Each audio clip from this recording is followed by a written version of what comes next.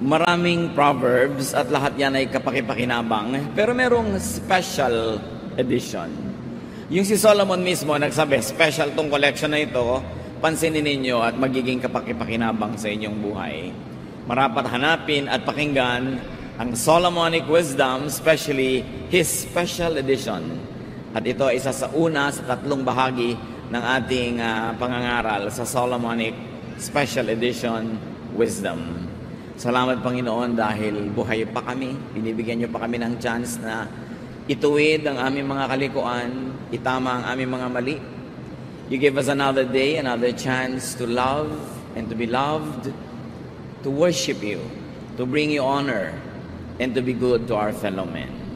Salamat sa pagkakataon, Panginoon, ng pagpapalawig ng aming buhay.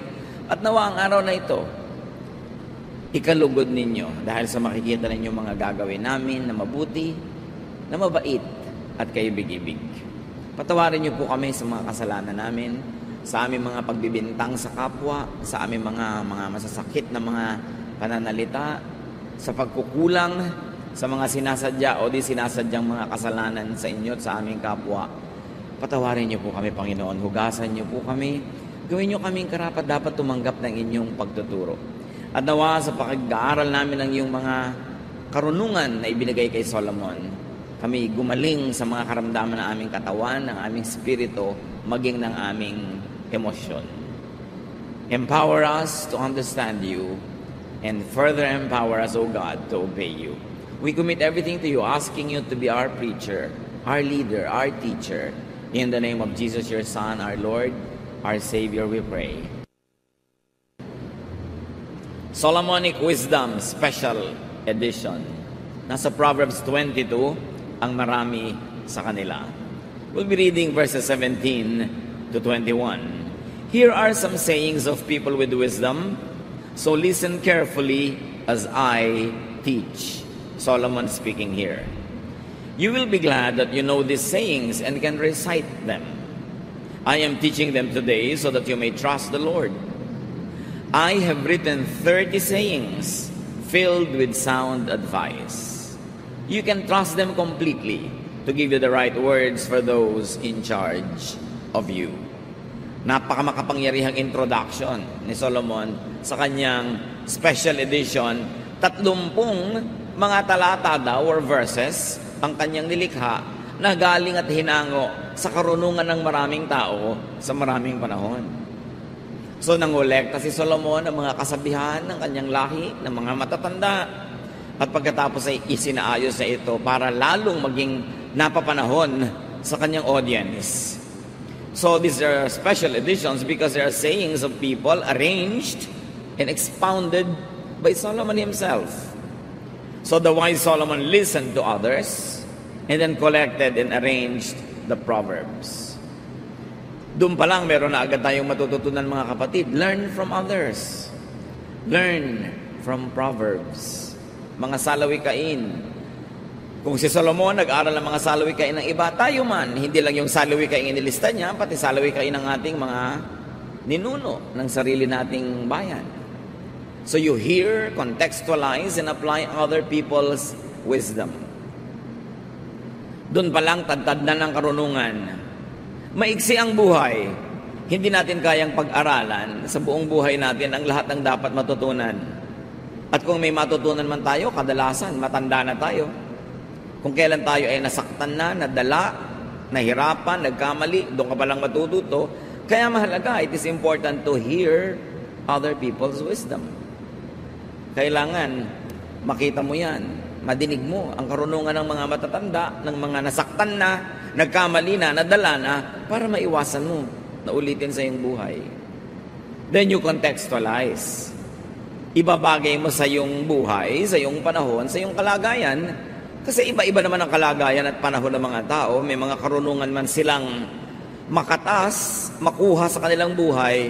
Hindi naman buong-buo mong lululunin at i-apply sa buhay mo kasi may pagkakaiba ang kalagayan mo. Kaya i-adjust mo yon. You put it into the context of your life, and then you apply. Find practical ways to put into your daily life the high sounding ideas and wisdom that you gather. Hear, contextualize, and apply. At narito na ang una, sa tatlumpu niyang koleksyon. Kaya nga, 1, 2, 3 parts ito eh. Proverbs 22, 22 to 23. Don't take advantage of the poor or cheat them in court. The Lord is their defender, and what you do to them, He will do to you. Huwag daw pagsasamantalahan ng mahihirap, lalong-lalo na huwag silang kawawain sa mga hukuman. Do not use the courts to legitimize and to legalize your oppression or your cheating of the poor. Kaya nga ginawa ang batas, yan ay para bigyan ng balanse ang buhay so that what people lack in their lives, they have in abundance through the law. Kailangan ay naibibigay ng batas doon sa mga kapos yung wala sa kanila sa kanilang buhay. Pero kung yung mayaman at makapangyarihan na ang makikinabang pa sa batas at sila pa ang kakatigan ng batas, bakit pa may batas? E mayaman na sila, kaya na nilang gamitin ang kapangyarihan nila para maghari, kaya ang batas at ang kapangyarihan ng batas ay ginagamit para ipagtanggol ang mga mahihina sa pang-aabuso ng malalakas. So lesson number one from the special collection, do not take advantage of the poor. Huwag mong nakawin ang pagkain na para sa kanila. Huwag mong nakawin ang fertilizer na para sa farmer.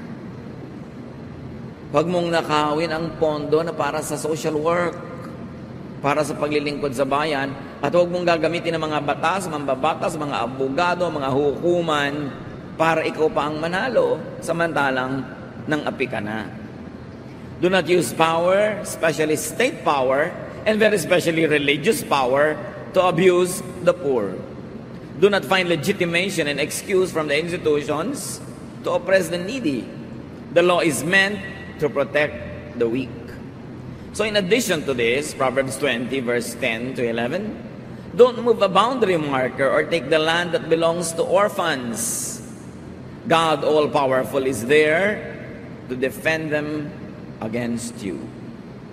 Dinagdagan pa ang kahulugan ng poor and weak, yun daw mga ulila. Huwag aagawan ng konting mana ang mga ulila.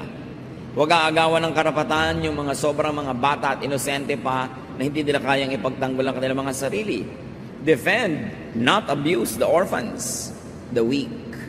So yan ang number one sa collection ng special edition ng wisdom.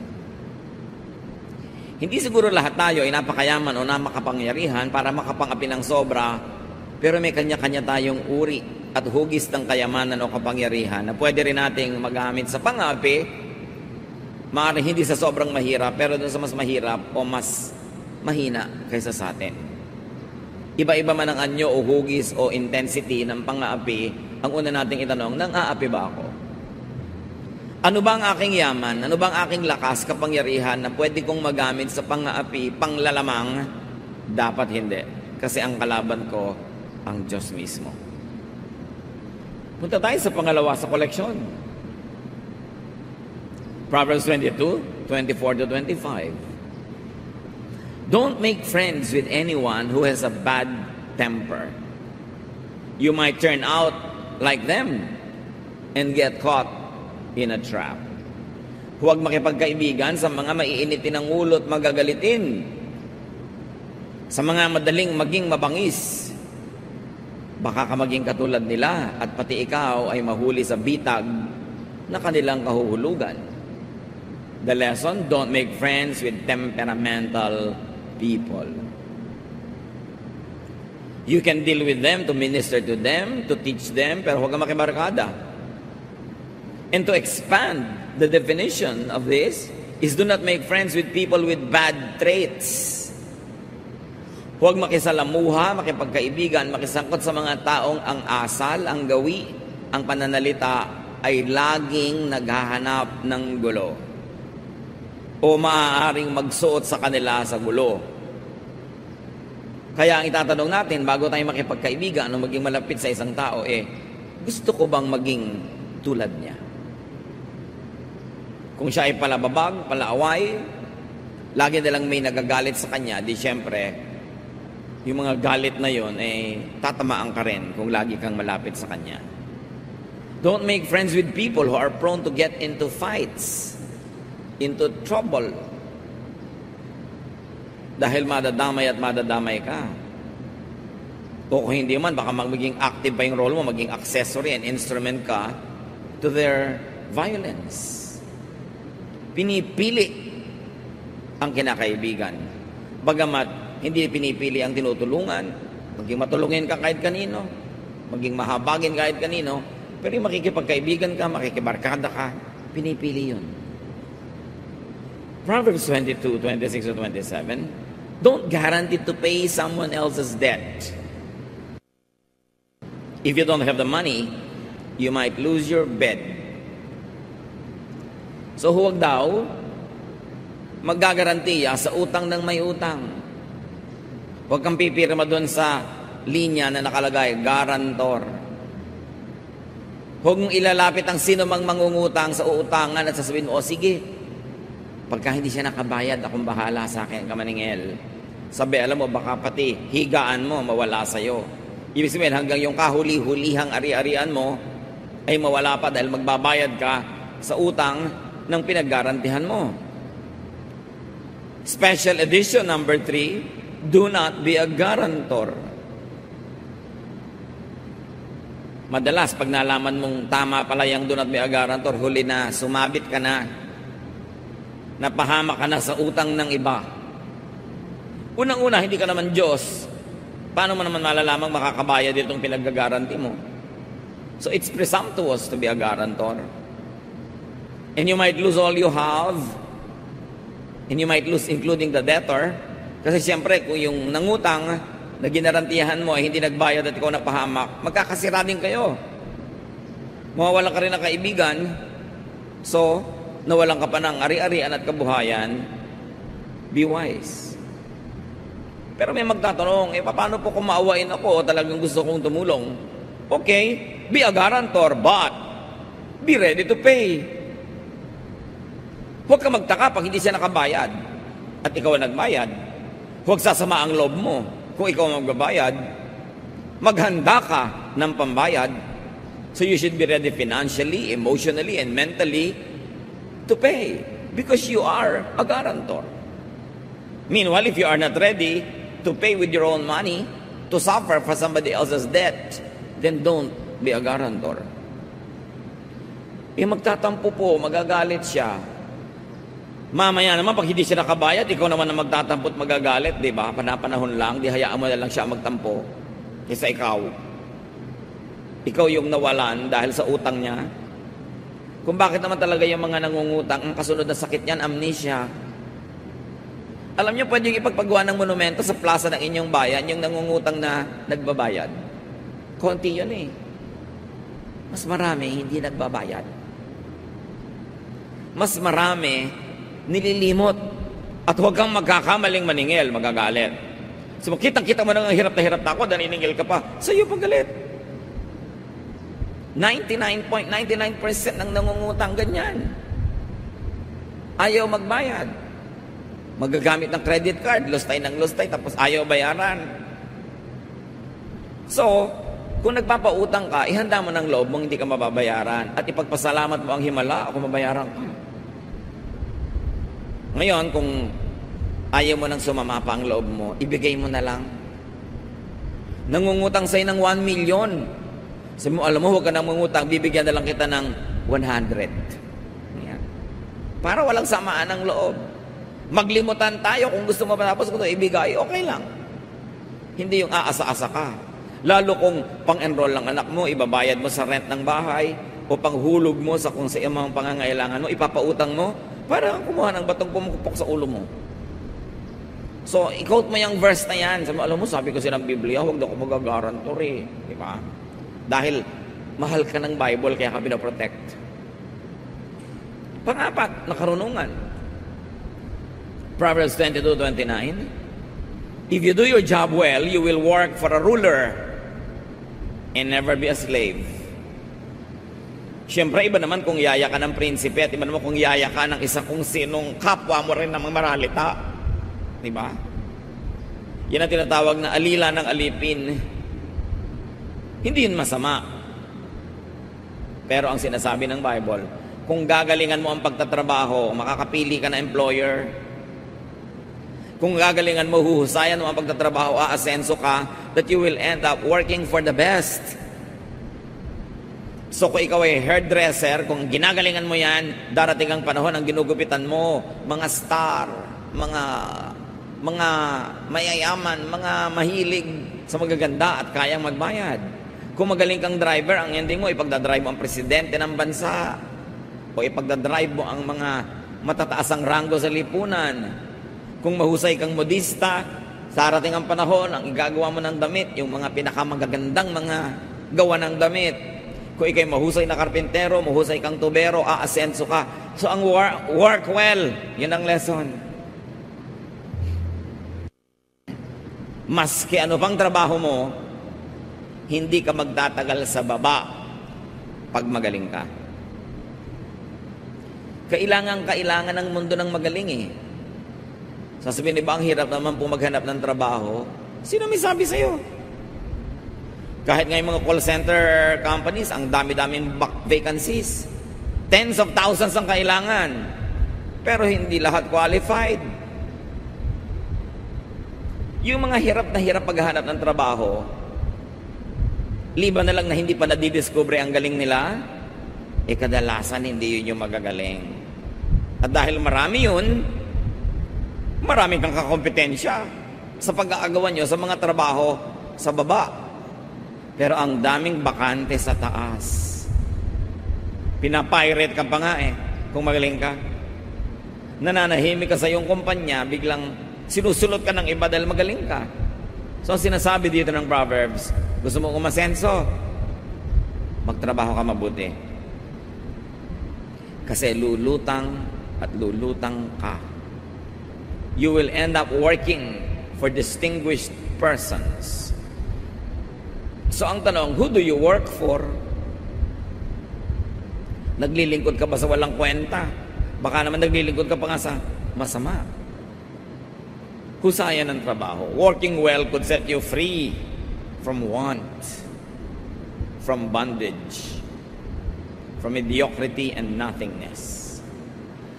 Ano ang ticket ng maralita tungo sa pag-asenso? Work well. How do you make money? How do you have a lot of money and more than you need? Earn it. Sabi ng iba, marry it. Bihira mangyari yon Sa teleserye lang yan. Sino namang baliw ng mayaman ang gugustuhin mag-asawa sa isang pagkahirap-hirap? Siyempre, ang gusto niya mapangasawa, meron din. So, sino naman na pagkaganda-gandang tao ang gusto mag-asawa sa hindi niya kasing ganda? Bihira rin yun. Bihira yung mga nai-in love sa kampanerang kuba. Bihira yung mga prinsesang humahalik ng palaka. At humalik ka man ng humalik, baka nakakaisang dang palaka na yan, tad-tad ka na ng kulugo, hindi pa rin nagiging prince. Usually, titingnan mo siyempre kung maganda ba yung partnership. Sino ngayon ang papatol sa'yo? E di kung mahusay ka, yung mahusay din, yun ang ticket mo para umangat. Eh kung mahirap ka na nga, tamad ka pa. Hindi mo pa sisikaping mag-aral kung may pagkakataon. At kung may trabaho ka, hindi mo na ini-improve. Pumasok ka na lang at umuwi. Yan ang pinakamataas mong pangarap sa buhay. Hindi mo malang ma-improve ang trabaho mo o produkto mo. Eh, yakapin mo ang kahirapan habang buhay. Hindi ka makakatakas dyan. Kasi ang daan palabas sa kahirapan ay yung daan ng husay. Galing. At napakarami mga taong nakahulagpos, nakatakas sa yakap ng hirap dahil magaling sila. Dahil ginalingan nila ang kanilang trabaho. Work well. Whatever it is, wherever it is, work well. Kasi hahanguin ka ng magandang produkto ng iyong gawain mula sa kawalan. You don't always have to work hard when you can work well Maraming tao, hardworking, pero hindi umaasenso. Hindi naman sinusukat ng langit, ang dami ng pawis na inilabas mo sa katawan para magawa ang isang bagay eh. Ang sinusukat, ano naman ang kalidad, ano ang quality ng ginawa mo. Ngayon, kung hindi ka naman sobrang pinawisan, hindi ka sobrang napagod, pero ang ganda ng ginawa mo, yun ang kikilalanin, hindi yung pagod. It's not enough to work hard. You have to work well. The product of your work must be outstanding. Whether or not it was very difficult for you to do it. Pero sabi nga, kung mapurol ang isang palakol, mas dapat lakasan ang pagsibak sa kahoy para tumalab ito. Kung mas mapurol ang gunting, mas dapat mong diinan ang paggupit. Mas mapurol ang kutsilyo, mas pagsikapan mong ihiwa ito. So kung medyo mapurol ka, yun, dun mo kailangan ng dagdag na sikap. Hindi ka natural at na outstanding. Hindi ka natural na excellent, dagdagan mo ng effort, ng pagod para mapunan yung kulang. Pero kung naturally gifted ka na, hindi mo kailangan sobrang magpakahirap eh. Just do your best. At bawat isa naturally gifted sa isang larangan man lang sa buhay. Kung hindi ka man umangat, hindi ka umaasenso, hindi ka nagniningning, baka nasa maling lugar ka na hindi bagay sa talentong binigay sa iyo ng Diyos. May ibinigay sa iyo na outstanding ka pag doon ka nag-operate. Hanapin yon at yun ang palakasin. Proverbs verses 1 to 3, chapter 23. Ibang chapter na, kasama sa collection ng 30 golden collection of Solomon. When you are invited to eat with a king, use your best manners. Don't go and stuff yourself. That would be just the same as cutting your throat. Don't be greedy for all that fancy food. It may not be so tasty. So sino nagsasabi nito? Si Solomon, who is king. Pag inanyayahan kang kumain kasama ang hari, may ganon, aba, ilabas mo na ang pinakamaganda mong asal. Huwag kang dumulog at magpakabusog para ka nang nagpakamatay. Sabi, pag yan ang ginawa mo. Huwag kang magpakatakaw. Huwag mong isaksak sa iyong mabagsik na sikmura ang lahat ng pagkain nakita mo. Sabi nitong si Solomon. The king invites you for a meal. Take advantage of the time to be with the monarch. Show him what you have. Kung matalino ka, ipakita ang talino. Kung magaling, ipakita ang galing. Kung may hinaing ka, maaari magkaroon ka ng pagkakataong ihinga sa hari ang hinaing ng sambayanan na hindi niya laging nakakausap. O kaya, baka nalulungkot ang hari, pakiramdaman mo, baka naman pwede mo siyang mabigyan ng kahit konting kaaliwan, mapatawa mo man lang, hindi ang aatupagin mo, busugin ang iyong sikmura. Siyempre, metaphor ito. Ito isang uh, talingaga, hindi lang tungkol sa pagkain. Watch your manners especially before the powerful. Pag nagkaroon ka ng pagkakataon, halimbawa makapanayam ang isang taong mahirap makausap, mahirap puntahan, mahirap malapitan, baka naman tambakan mo agad ang mga reklamo at problema mo sa buhay. Surely, naparating mo yon pero sigurado, di ka na maimbita uli. Lalo't di ka naman tinatanong na ano bang problema mo, ano maitutulong ko sa iyo. Siyempre, yung mga taong matataas ang katayuan sa buhay, maraming pasanin yan. Akala mo, puro sarap ang buhay niyan. Maraming pasanin, maraming pinaproblema, maraming sagutin, maraming tinutulungan, hindi lang ikaw. Maraming ginagastahan, hindi lang ikaw. So, ting lalapit ka, may hihingin ka, meron kang kailangan. Pakonti ng pakonti ang imbitasyon sa iyo hanggang mamaya, iwasan ka na.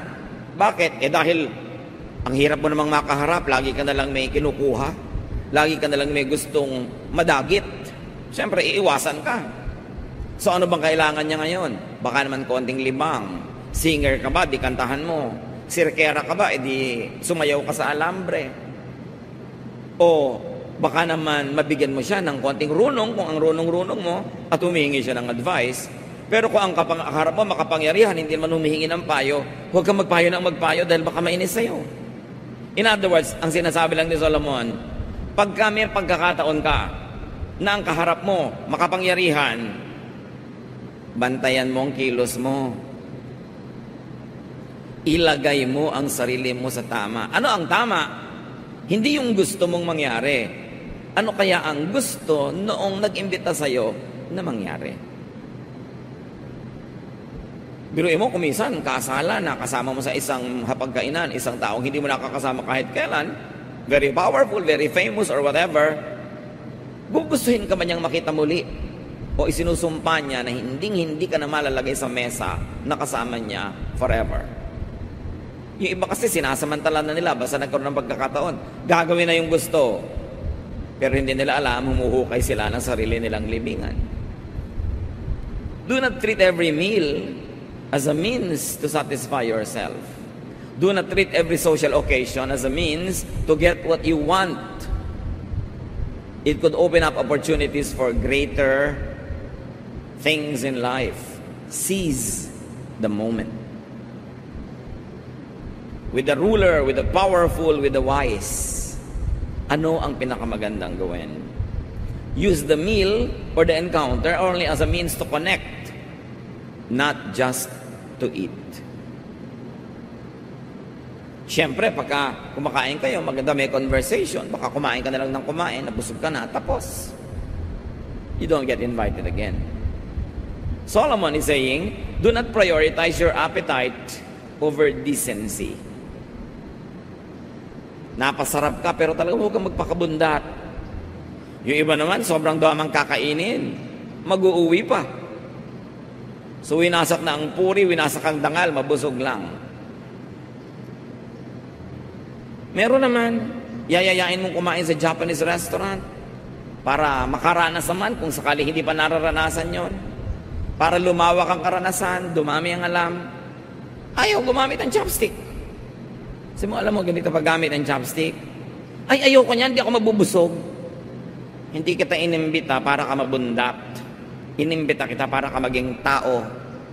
Yun ang gustong sabihin sa'yo nang nag invite Ayaw gumamit ng ganito, ayaw gumamit ng, ay, hindi ako sanay sa ganyan. Hindi ka naman nandun lang para lang mabusog. Siyempre, pag naimbita ka, lalo mahusay yung nag-imbita sa'yo, ang goal mo, maimbita ulit. Katulad ng kung restaurant ka, hindi naman goal mo may kumain lang na customer, ang goal mo, bumalik siya. Pero nandun ka, kumakain ka sa restaurant, wala pang 10 minutes na nandun ka na, decided ka na eh kung babalik ka or not. Di ba? Yun ding naimbita mo, 10 minutes mo palang nakita, alam mo na, hindi ko na ito imbitahin uli. So kayo ba'y naimbita uli? Lalo ng mga taong may saysay. O tayo'y nakakadalaan. Kailangan, hindi nadadala sa iyo ang tao lalo yung taong yun ay nakakatulong, may magagawang mabuti, dapat hindi siya madala. Huwag na para kang uh, mga angaw-angaw na insekto na ang dapuan ubos. Makakadalaan ka. Proverbs 23 verses 4 to 5, ika-anit sa ating koleksyon. Give up trying so hard to get rich Your money flies away before you know it. Just like an eagle suddenly taking off. So anong sinasabi ni Solomon? Na ang yaman-yaman, don't try too hard to be rich.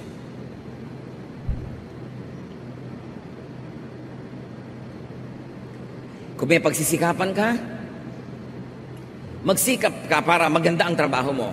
Lahat ng makakita nun, mapuri ang trabaho. May gagawin ka, sikapin mong maging mabunga, matulungin. Pero huwag mong gawing goal sa buhay to be rich. Kasi pag ang goal mo to be excellent, malamang magiging rich ka rin eh.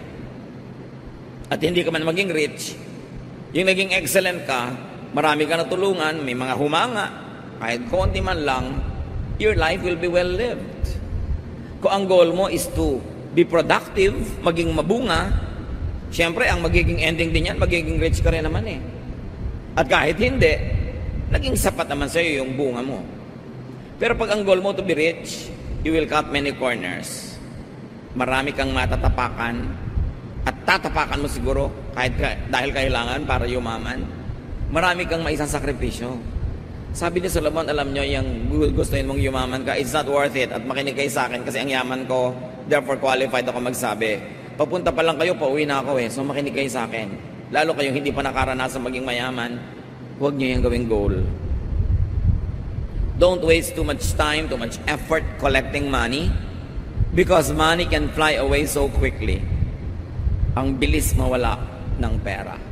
Marami tayong nababalitaan kahit sa mga dyaryo, kutakot-takot na mga kasamaan ng ginawa para yumaman o ang ending, nagagamit ba ang kayamanan? Nalalayo din sila sa kanilang kayamanan. Nalalayo din sila sa kanilang mga bahay. Nalalayo din sila sa mga taong mga dating kinakaibigan sila sabi ko noon, kasi pagyaman lang ang inatupag, hindi maging mabuting tao. Hindi maging mabungang tao. Yumaman ka, wala kang production. Hindi ba, sana ka yumaman ka dahil ang dami mong itinanim na munga, ang dami mong ginawa na produkto, may bumili, pero ang dami mong ninakaw, ang dami mong dinaya, ang dami mong ginawa ng masama, walang kwenta yon Sabi ko nawawala din yan bigla. Money is so hard to get, yet so easy to lose. So why sell your soul to the devil for money when you can so easily lose that same money? Work for things that last, that endure, like relationships. Huwag bibigyan ng higit na halaga ang pera kesa sa magandang pakikipagkapwa tao kesa sa magandang relasyon sa kapwa, kesa sa pagiging makadiyos. Instead of collecting money, collect friends. Collect goodwill. Collect good health. Yan ang mga tunay na kailangan ng tao sa buhay. Ngayon, binigyan ka pa ni Lord ng bonus, yumaman ka, edi salamat.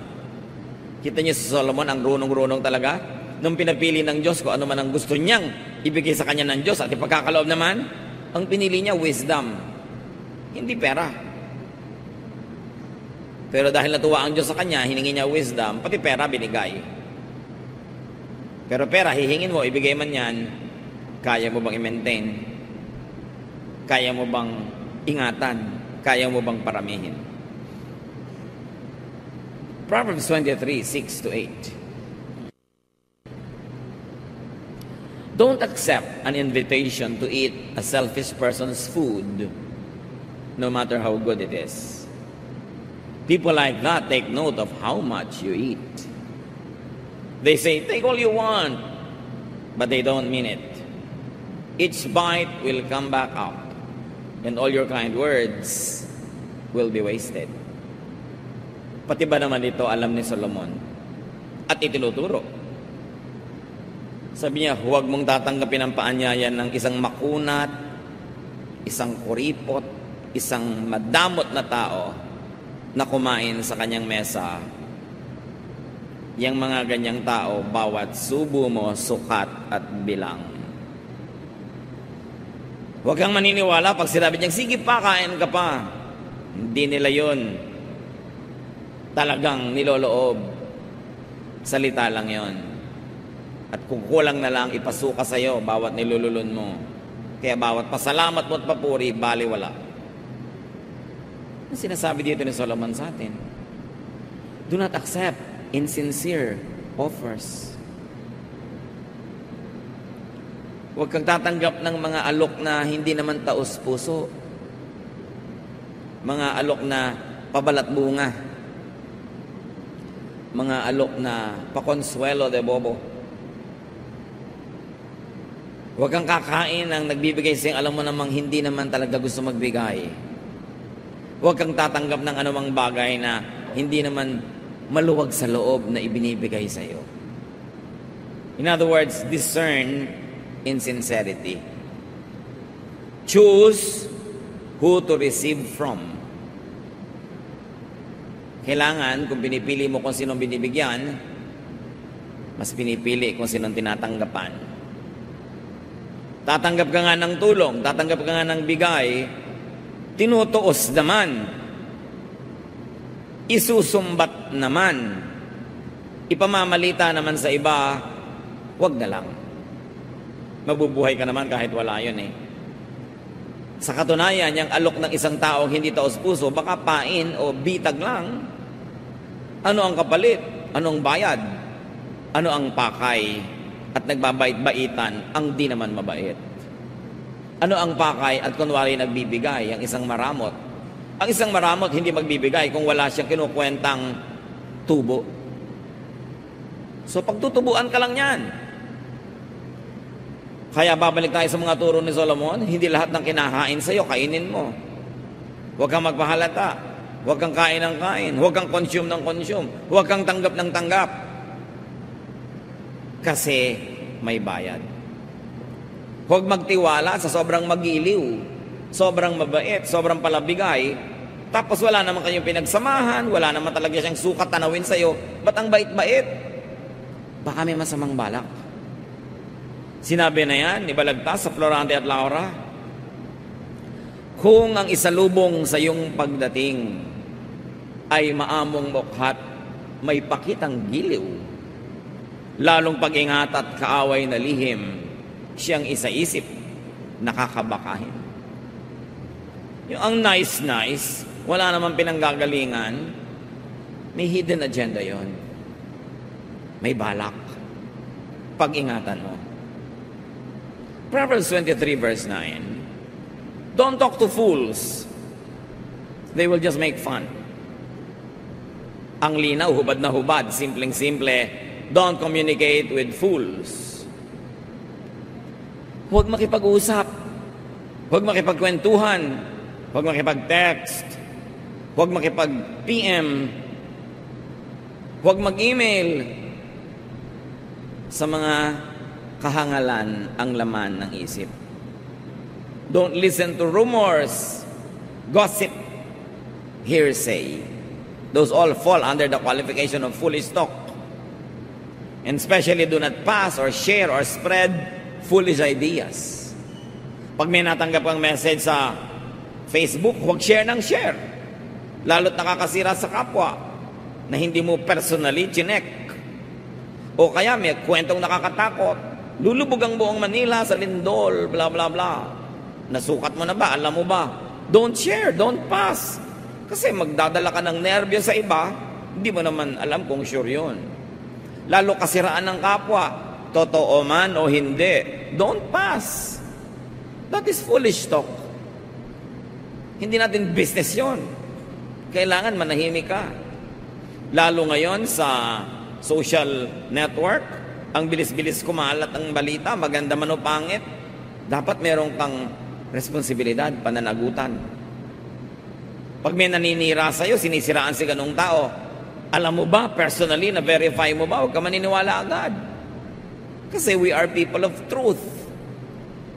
No matter how convinced a person is to try to tell you about somebody else's kamalian or kapintasan, maaaring nagkakamali siya sa perception niya. At kahit pa nga tama't totoo, dapat niya bang pag-usapan? So listen to wisdom. More so if it's part of Solomon's special edition. Learn from them. Learn from Solomon. Makakaiwas ka sa maraming gulo na darating pa at maaring makalabas ka sa mga gulong na sangkutan mo na. Pakiramdaman ng buhay, makinig sa karunungan para makaiwas sa mga bagay na nakakasakit sa atin at para rin madiscover natin ang magagandang bagay na inilaan ng Panginoon. Ama namin sa langit, binubuksan namin ang aming puso at isip sa inyo upang panatilihin yung naroon sa aming isip lahat ng magagandang bagay na aming na-review. Bigyan niyo po kami ng creativity, ng enlightenment para ma-apply namin sa buhay ang mga bagay na ito. Patawarin niyo po kami kung may mga ginagawa kaming mga nanggagaling sa kamangmangan, nanggagaling sa foolishness. Teach us to be wiser as you are the God of wisdom. Pagbulay-bulayan natin mga kapatid, isa man lang sa marami nating pinagsalu-saluhan at gumawa tayo ng mga tiyak na pa siya. Napakinabangan natin ito at pakinabangan ng mga natin sa buhay. Dear Lord, as we sit still, as we listen for your voice, speak to us and teach us how to operationalize these lofty ideals. Manatili sa presensya ng Panginoon at hanapan ng paglalapatan sa buhay ang mga karunungan ni Solomon.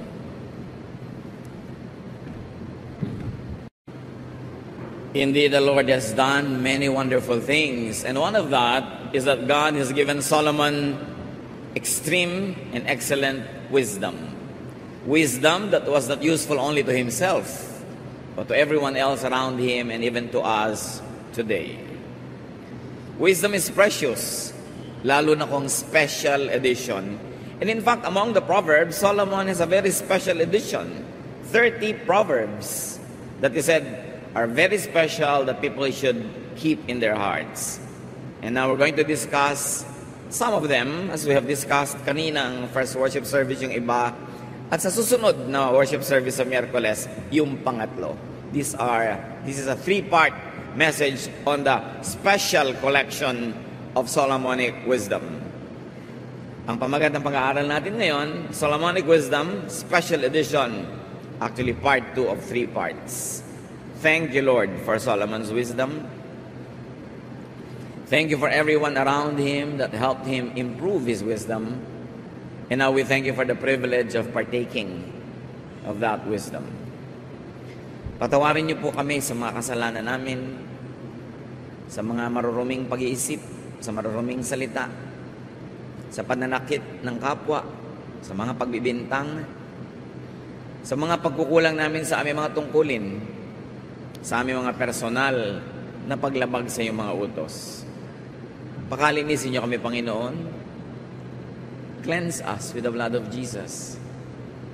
Enable us to rise above ourselves and meet with you in a higher level of consciousness, of spirituality.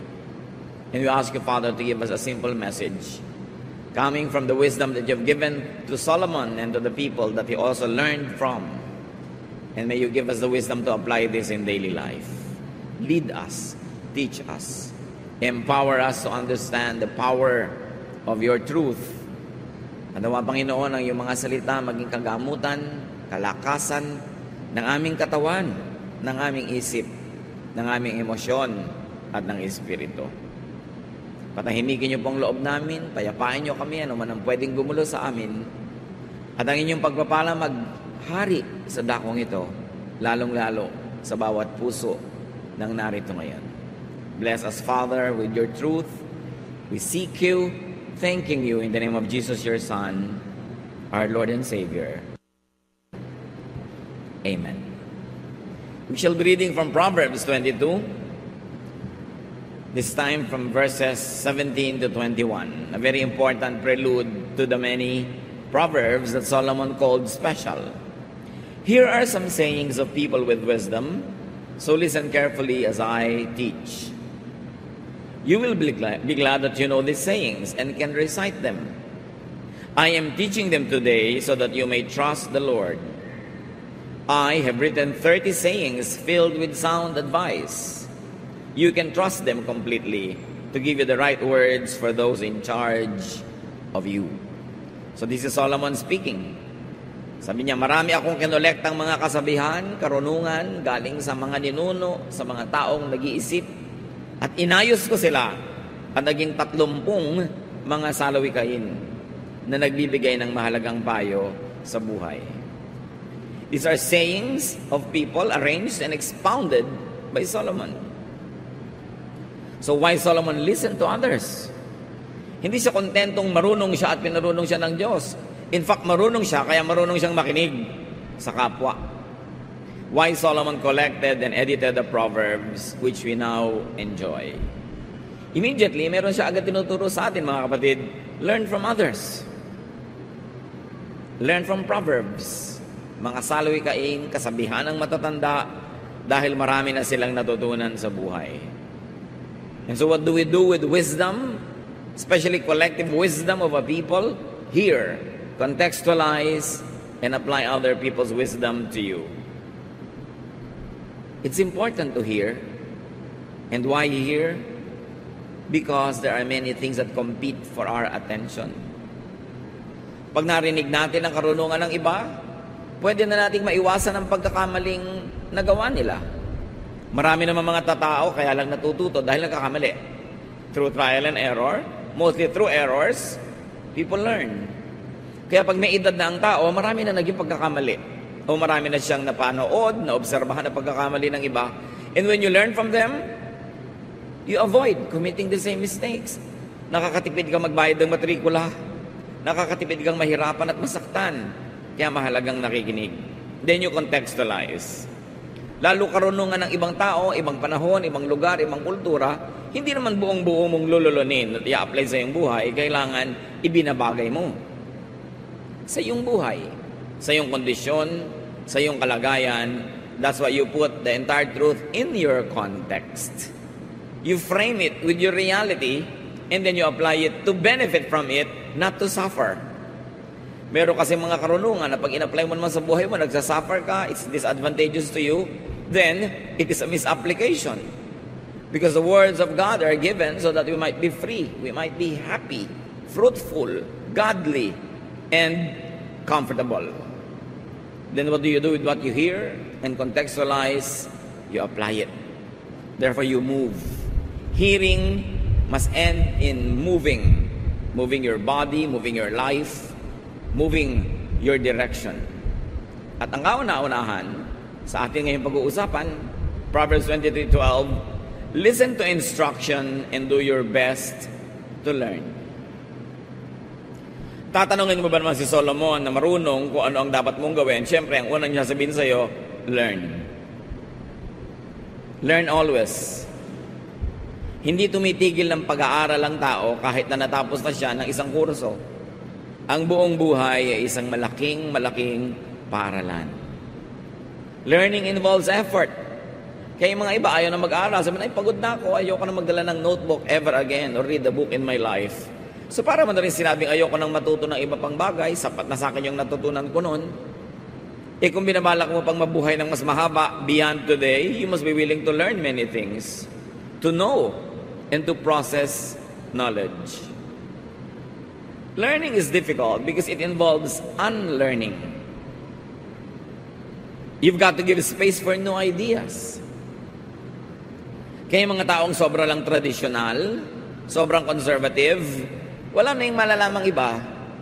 Kasi ayaw na nilang magbitaw ng mga dating bersyon na alam nila para palitan ito ng mga updated and improved and upgraded versions of the same truth. Nakayakap na lang sila sa nakaraan at ayaw na lang magkaroon ng mga pagbabago. Learning is resisted by some people because it involves adjustment to new realities, to renewed realities. Sometimes from a know-it-all senior high school student, you become a gullible, impressionable freshman college student.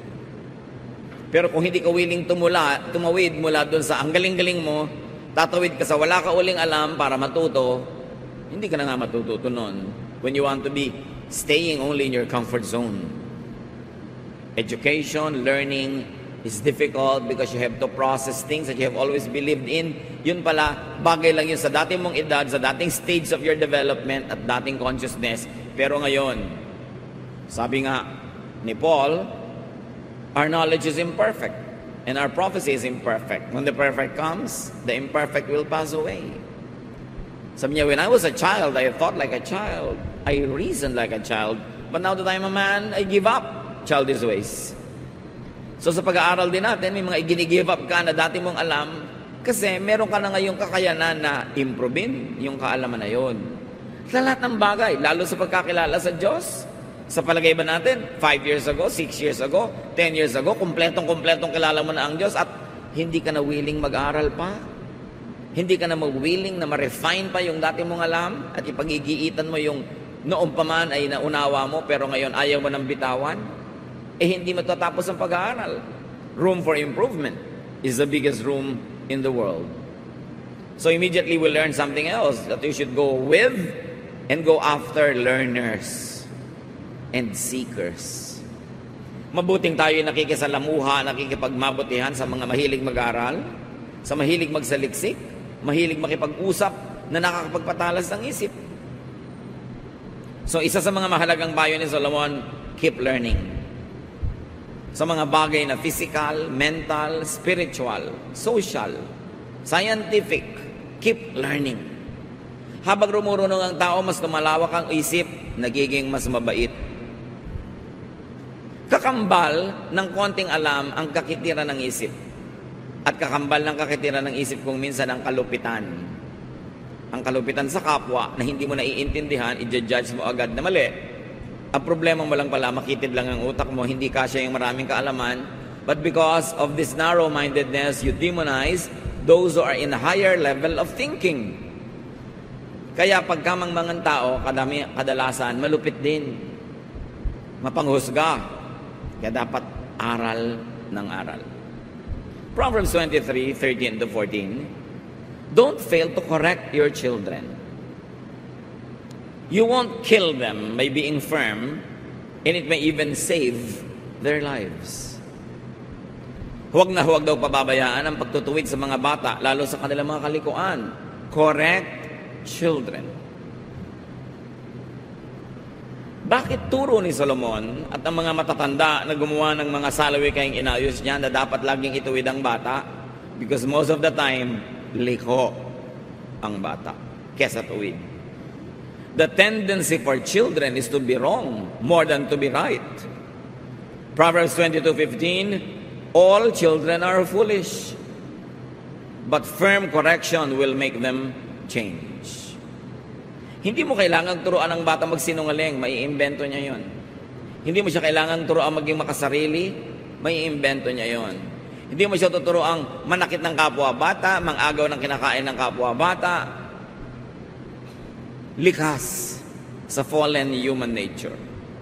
Kaya habang maaga, itinutuwid agad ang liko. Kesa sa katandaan na, kalakihan yung liko, mahirap nang ituwid. But of course, it must be a correct correction. Hindi yung hampas ka lang ng hampas, palo ka lang ng palo, nagsasalita ka lang ng masakit. Dahil hindi naman maitutuwid yung ganun, mga pagkakamali ng maling approach. So, correct correction won't harm children. In fact, non-correction is what could kill them. Pag kulang tayo sa pagtutuwid sa mga bata, maaari ang mga bata lalo pang mapahamak. Hindi yung kawawa naman yung bata, ayaw mong turuan, ayaw mong disiplinahin, ayaw mong pagalitan. You must correct children on time.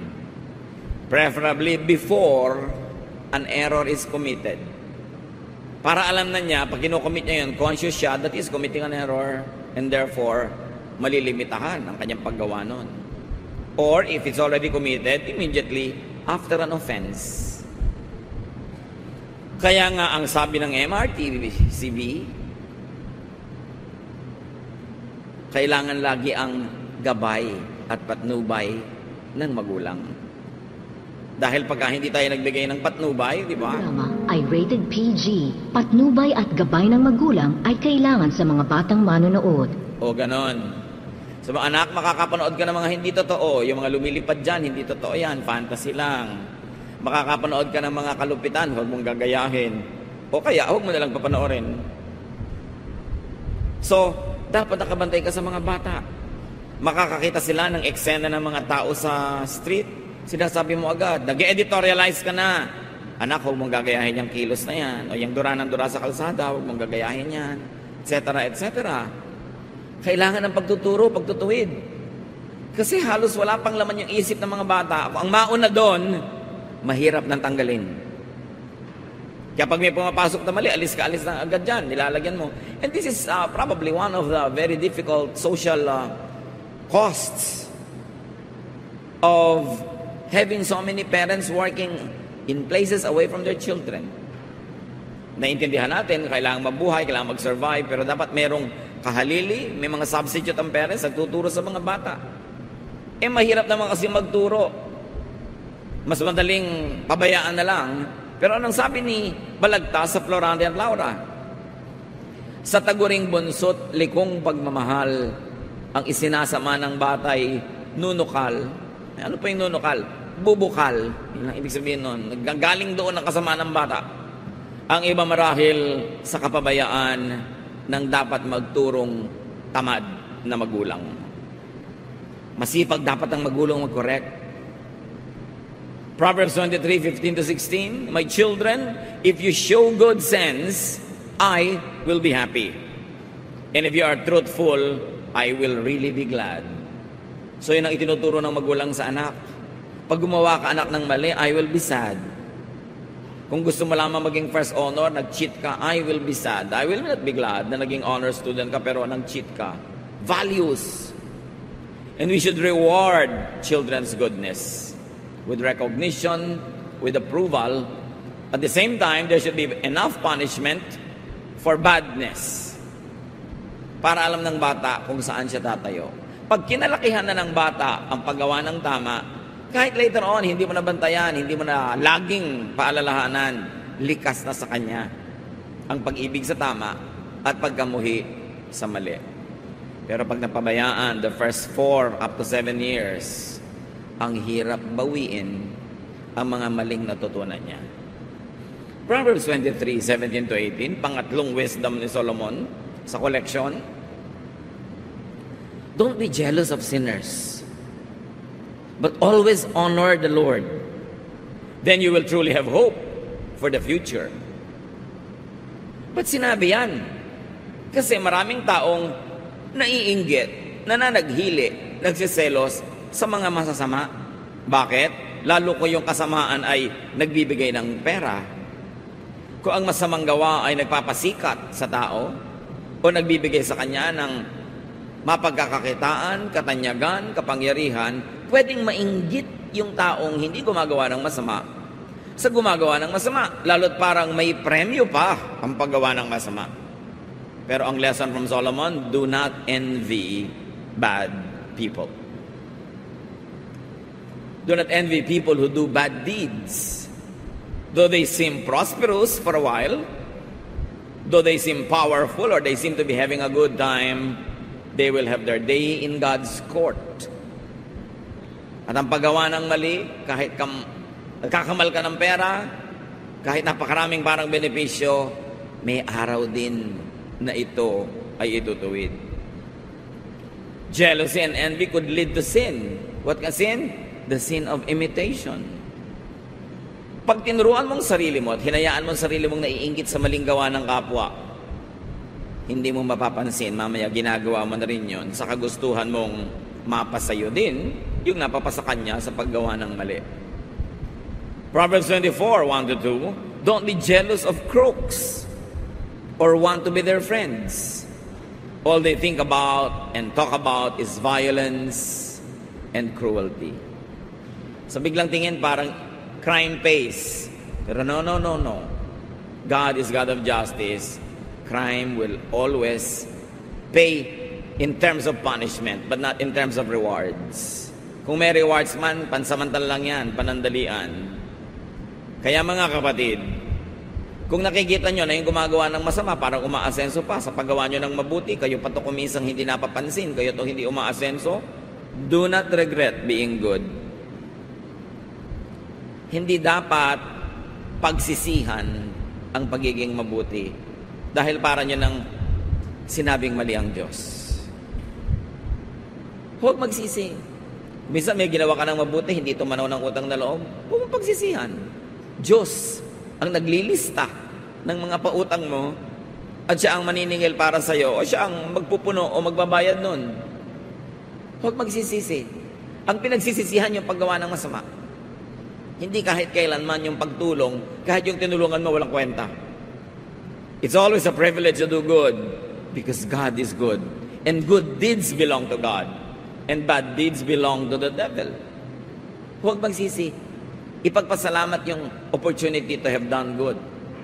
Proverbs 23, 19 to 21. Listen to me, my children. Be wise and have enough sense to follow the right path. Don't be a heavy drinker or stop yourself with food. It will make you feel drowsy and you will end up poor with only rags to wear. O isa pang turo, Siyempre, pag sinabing children, hindi lang ito little infants. Lahat ng mga anak ng tao, anak ng Diyos, kahit mature ka pa, tinutukoy, huwag ka daw magpapakalasing. Huwag kang mahumaling sa alak at huwag kang sobrang kumain. No? So, may mahihilo ka. Di ba? Minsan may kumakain. Bakit ganyan? Nagdidilim ang paningin ko sa kabusugan. Eh, ayaw pa tumigil. Nakalawit na yung pusod. Kain pa ng kain.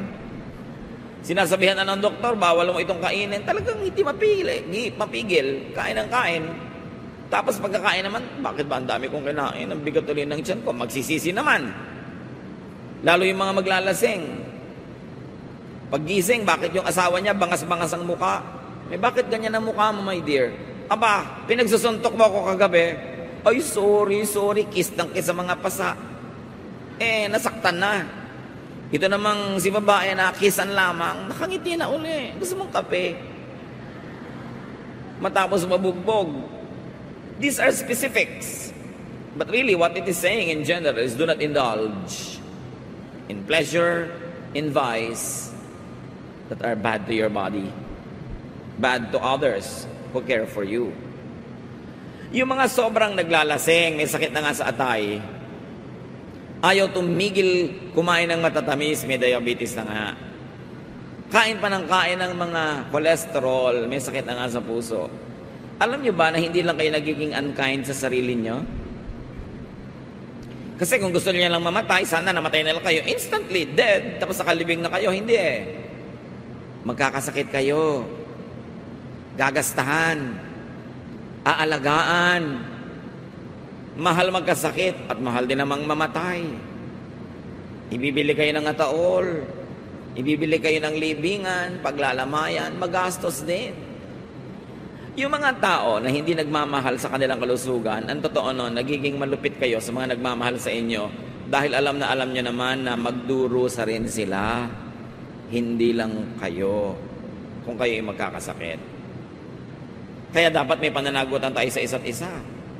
Anak ka, Naku, I will not indulge in very dangerous sports kasi pagka bigla ako na paralitiko dito, magbuong buhay ko, aalagaan ako ng magulang ko, tumatanda na sila, mag-aalaga pa sila ng na, na paralyzed dahil sa isang very dangerous activity. Hindi ako mag indulge in drugs. Pag nahuli ako, nakulong ako, matanda na yung magulang ko, imbes mabigyan ko ng ginhawa, siya pala pa yung dadalaw sa akin sa kulungan. O mag-iingat ako sa kalusugan ko kasi pag namatay ako bigla, kawawa naman tong asawa ko, siya magpapalaki ng mga anak namin mag-isa. Alam nyo, inaalagaan ng katawan, hindi lang dahil mahal mo ang sarili mo, dahil mahal mo yung mga taong umaasa sa'yo. Pananagutan yan ng matitinong tao. So ano ang paalala dito ni Solomon? Restrain yourself. Magpigil. Anything that you love, desire, and covet could be your master. Ang hinahangad mo, ginugusto, hinahabol-habol, magiging Panginoon mo yan. Kaya tiyakin mo unang-una na hindi yan alak, hindi yan drugs, hindi yan nakakasama sa iyong katawan dahil marami rin namang madadamay kung magkasakit ka. Panglima, sa collection na ito na very special. Verses 22 to 25. Bili na naman sa mga anak. Pay attention to your father and don't neglect your mother when she grows old. Invest in truth and wisdom, discipline and good sense and don't part with them. Make your father truly happy by living right and showing sound judgment. Make your parents proud, especially your mother. Kabilin-bilinan ni Solomon na pinarunong ng Diyos. Pansinin mo ang itinuturo sa ng ama at huwag na huwag mong papabayaan ang iyong ina sa kanyang pagtanda. Kailangan gumugol ka, mamuhunan ka sa karunungan, sa disiplina, sa katinoan, at huwag na huwag kang wawalay sa tamang daan. Pasayahin mo ang iyong ama sa pamamagitan ng matinong pamumuhay. Hayaan mong ikarangal ka na yung mga magulang, lalong-lalo ng iyong ina. Bakit ng ina? Kasi siyempre napakasakit ang puso ng ina kung may ginagawang kaaliwaswasan ng kanyang anak. Nakakahiya halimbawa, masakit, walang magandang bunga, nasasaktan ng magulang. Again, pananagutan natin sa mga nagmamahal sa atin na magpakatino. Be a good son or a good daughter. Sa Old Testament kasi madalas ang kausap lang lalaki, pero siyempre kung son, kasama din yung daughter doon.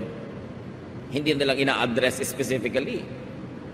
Anong bilin mga anak? Make your parents happy and proud because of your good behavior. Yung huwag kang gumawa ng ikahihiya nila. Kahit hindi ka nahihiya, eh sila nahihiya, eh di nasasaktan sila. Isinasaalang-alang yon. At mahigpit na bilin, hindi lang sa verse na ito, maraming verses. Take care of your parents when they grow old. Huwag na huwag kalilimutan na alagaan ng magulang, lalo't matanda na sila. You take care of life's transitions.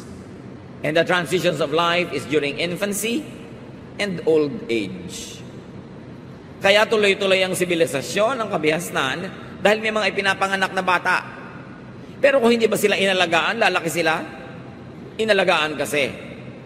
And there's always an unwritten contract na ang mga batang inalagaan na palaki, sila naman na mag-aalaga sa mga magulang nila hanggang ihatid nila sa huling hantungan at humarap na ang mga magulang sa Diyos pagdating ng panahon.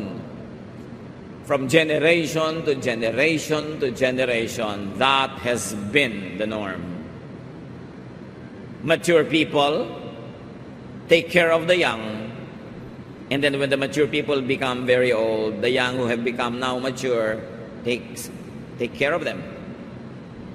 Panapanahon, walang sisira sa usapan. Bawat henerasyon tutupad sa ganitong arrangement. And this is how humanity and civilization goes on. Proverbs 23, 26 to 28. My son, Pay close attention and gladly follow my example. Tatay ang nagsasalita sa anak na lalaki. Bad women and unfaithful wives are like a deep pit. They are waiting to attack you like a gang of robbers with victim after victim. So lalaki sa lalaking usapan, anong sabi ng tatay sa anak? Avoid, beware of bad women. And here, the context of bad is sexually promiscuous women who are not faithful to their own husbands, who seduce men who are husbands of other women, or women who seduce men away from their duties, away from their godliness, away from their good sense. Of course, pwede mo rin baligtarin yan. Pwede mong sabihin din sa women na beware of bad men. But just the text is talking about a father saying this to the son. So anong unang-una dito ang leksyon, mga tatay? Be a model father to be able to say this. Tatay, you want to be a good father?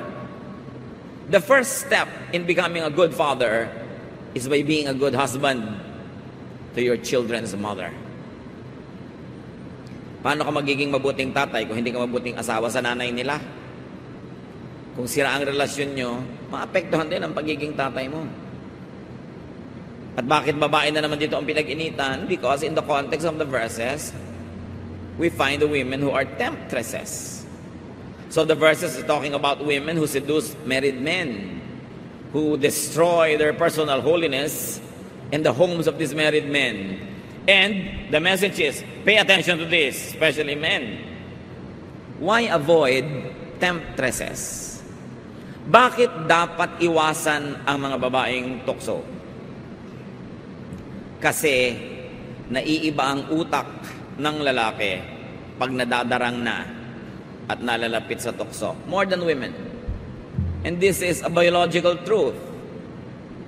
PsychologyToday.com in the article The Physiology and Endocrinology of Sexual Arousal says, listen very well, When the mind and the body are in the state of sexual arousal, the prefrontal cortex, sometimes called the cerebral cortex, which is responsible for higher level cognitive functions like reasoning, is shut down. Pagka daw, ang isip ng isang lalaki ay dumating na sa level ng sexual arousal, nagising na ang kanyang damdamin, napukaw na ang kanyang pagnanasa, nagsasara ang cerebral cortex na pinanggagalingan ng katwiran. So yung ako ang iyong konsyensya, sarado. Yung mali ang gagawin mo, magkakasakit ka, sarado yon. Magugulo ang iyong asawa, sarado. Baka mahuli ka, sarado. Pag dumating ka na sa level na natukso ka na, sarado na ang utak. Wala nang gustong gawin kundi ituloy ang nasimulan. And to continue to quote, Sexual temptation is not a battle between the pleasure center and the rational part of the mind. The rational part, when the person is already aroused, is already dead. It's not even fighting. So kung tayo ay lumululo ng pagkain at may dalawang tubo na pinupuntahan yung ating lalamunan, isa patungo sa lungs, na hindi dapat pasukan ng pagkain, at isa patungo sa sikmura na dapat puntahan ng pagkain, pag ngumunguya ka na, nalalaman na ng lalamunan mong may lululunin kang pagkain, nagsasara yung glottis, a muscular flap, na sumasara doon sa mga butas patungo sa lungs para yung kinakain mo ay huwag magpunta ron at tumuloy sa sigmura. Pero kung kumakain ka, tawa ka ng tawa, daldal ka ng daldal, nalilito yung lalamunan mo, kaya kung isang paglulun mo, yung kanin tumutuloy sa lungs. Iuubo mo ngayon hanggang lumabas sa yung ilong. Naranasan nyo na yan? Kasi nalilito yung lalamunan. Kaya kung lululon, huwag dumaldal, huwag tumawa ng tumawa dahil may nakakamatay. Ang isang Kennedy namatay sa dining table dahil dyan may nalulon. Hindi lumabas, nag-choke, hindi nakahinga. Eh kung isang hita ng manok yung nilunok nyo, parang talagang hindi kayo makakahinga. Ganon din yung utak. Yung pinanggagalingan ng katwiran, katinuan, kahusayan, karunungan, yung cerebral cortex, pag dumating sa level ang lalaki na natukso na, na arouse, sarado na yung utak. Pag natukso, na darang, na arouse, sarado na yan. Madilim na ang isip.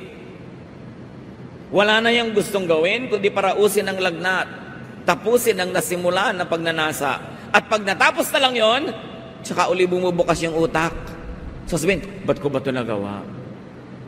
Magsisisi ngayon. Hanggang sa susunod na panahong matukso uli, ulitan na naman. Kaya sabihin ng asawa, pitong beses mo na akong iniwan. So pitong beses na palang nagsara yung cerebral cortex. Ngayon mga kalalakihan, huwag ang cerebral cortex ang sisihin.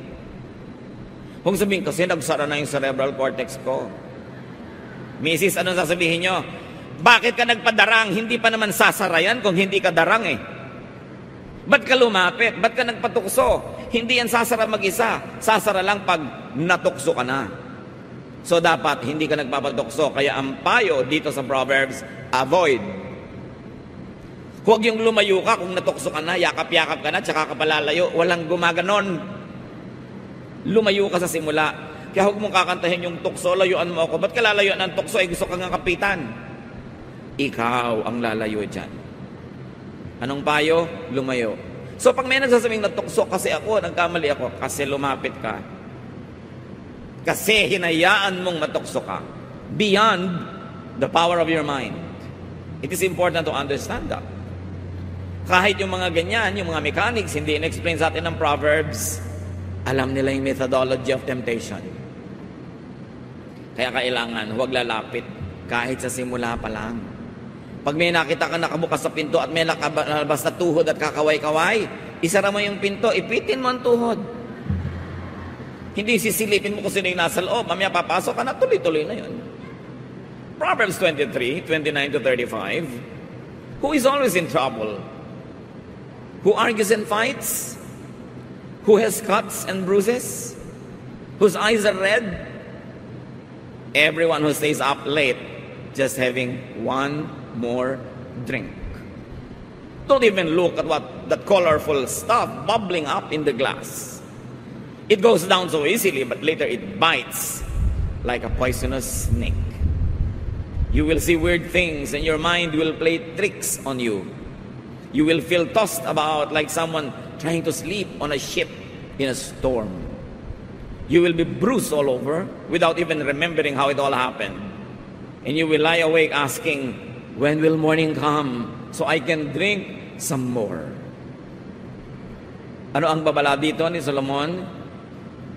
Sino daw ba yung nasusugatan, nahihilo, naglalaro ang guni-guni? E di yung mga naglalasing. Sinong napapahamak? Yung nagkakandapuyat-puyat para just one more shot, one more drink. At mamaya, just one more hanggang abutan na ng umaga, gising pa sa pagbibisyo. Ito ang ipinakikilala sa atin ng Solomon. Do not be a drunkard. Do not indulge in vices. At syempre, yung alcohol dyan is only a metaphor of all vices. Huwag kang magpuyat ng kasusugal. Tapos tulog ka sa araw. Pagising mo alas 3 na, alas 4 ng hapon, maghahanap ka na naman ulit ng sugalan. Huwag nagpapakalasing-lasing hanggang gabi, tapos matutulog buong umaga, hindi makapagtrabaho. Pag umagabi na uli, hanapan na naman ng iinumin o drugs. Do not start a vice. Bihirang nagsisimula ng bisyo ang nakakatakas. Do not get led and controlled by a vice. You must be a free man or woman, not addicted to anything, even food, even wine, even a habit, because the people of God must be free, free only to serve God. So, because of his vice, a man demeans and hurts and destroys himself and his loved ones as well. Nakakakita ka na ang titinong mga tao pag nalasing na mukhang basura, mukhang basahan. Mga matitinong mga babae na ngayong nagkanda talo-talo-talo sa kasino ay mukha ng basahan. Dapat hindi ganun. Huwag magpapaalipin. And if this habit runs in the family, as many habits are, cut it and stop it in your generation. Kung lahi kayo ng mga babaero, putulin mo na sa panahon mo para huwag nang maipasa sa iyong anak. Kung lahi kayo ng mga lasinggero, lahi ng mga nambibisyo, lahi ng mga nambubugbog ng asawa, stop it in your generation.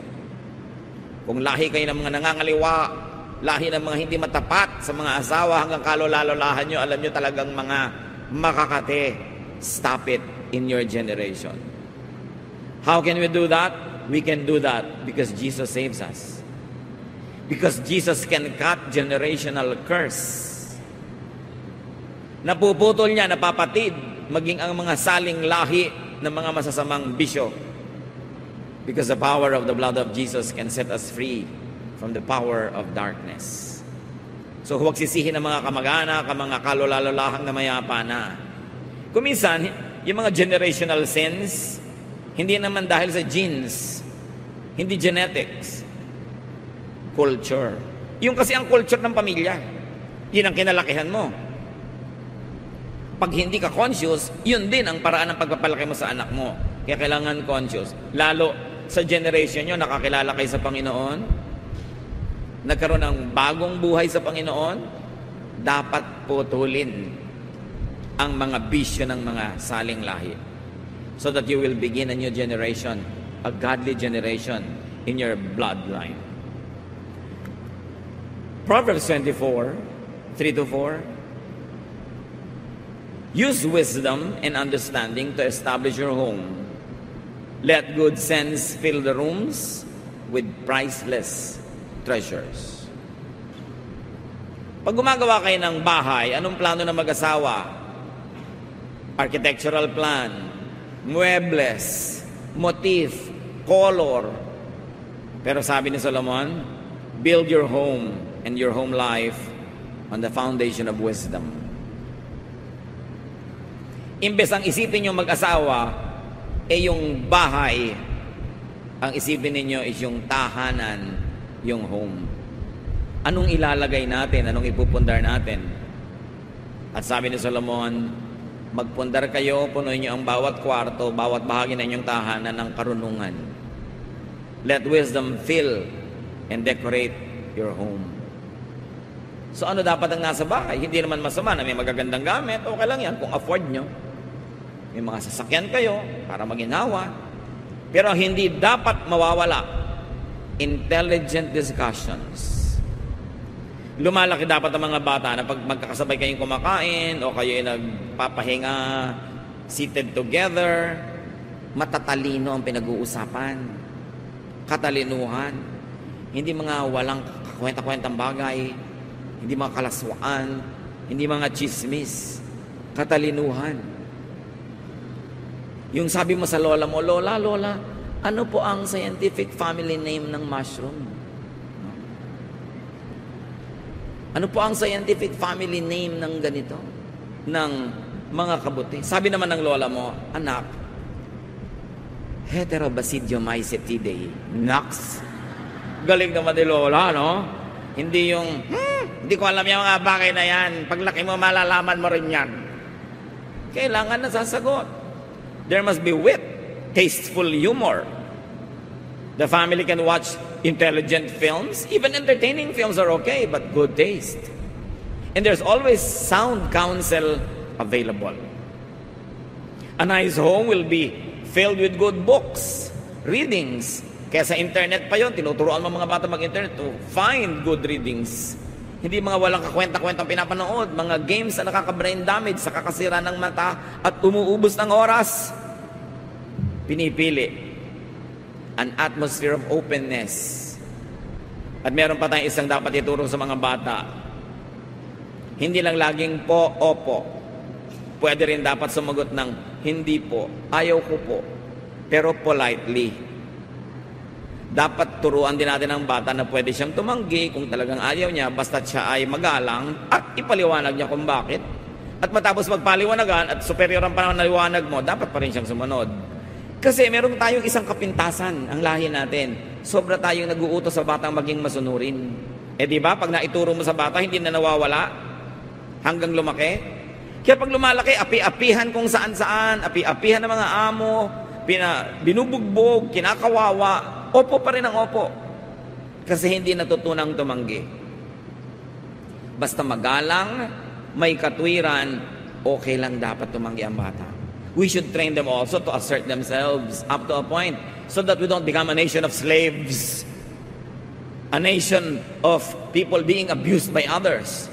Kasi yung ating kabaitan at kababaang loob kay lola, kay nanay, ginagamit natin kahit kanino na lang na umaapi sa atin. So there must be intelligence and reason. Mainam mga kapatid. Isa ulo, isa gawa ang mga paalala ni Solomon. Listen to this special edition.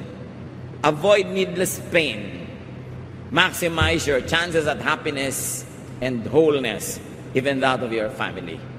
Ama namin, patuloy niyo po kaming turuan kung paano pa namin ilalapat sa buhay ang mga karunungang ito. Paano kami iiwas na mahulog sa tukso, sa bisyo, Paano kami bubuo ng tahanang matalino, matiwasay, maunlad, at ganon din pamayanan, bayan, ng mga mulat ang isip, kapakipakinabang, at hindi pabigat sa kapwa. Pakita mo sa amin ang karunungan ni Solomon na hindi lang para sa kanya o sa kanyang bayan at panahon, para rin sa amin ngayon. Forgive us in areas of our lives where we are foolish, allow us, encourage and empower us to be wise, to be wiser, to be wisest.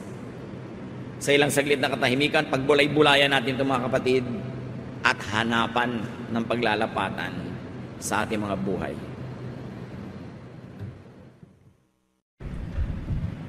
Wisdom is very, very precious. Wisdom can save us from trouble when we already are in trouble and wisdom can even prevent trouble from happening.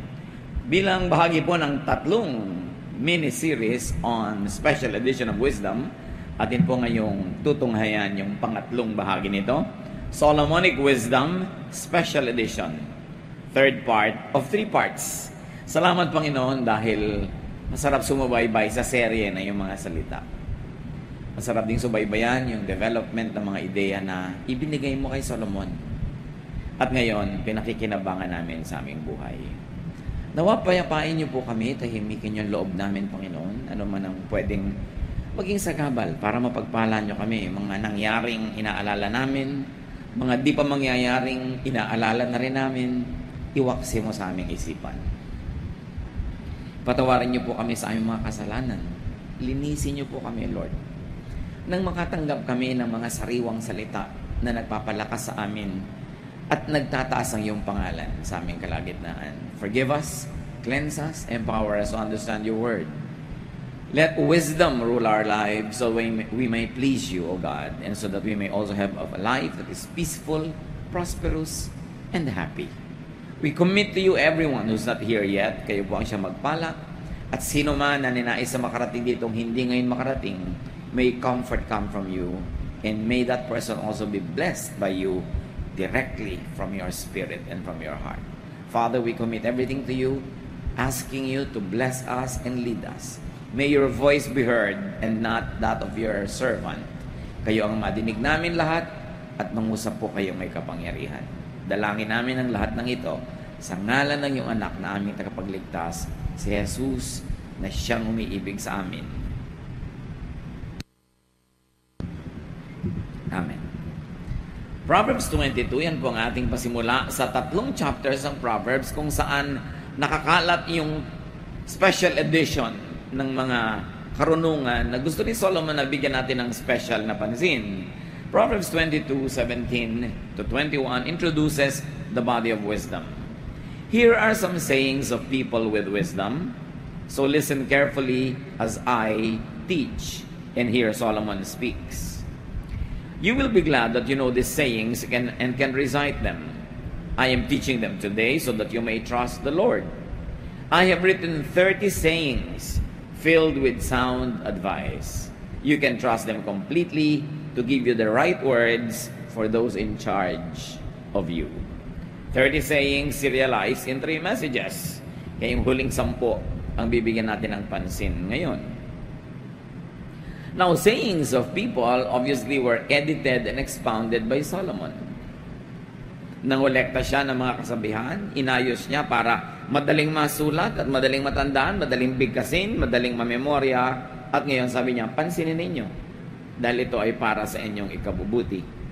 Why Solomon listened to others and collected and edited proverbs? Immediately, there is a lesson that we should learn from others.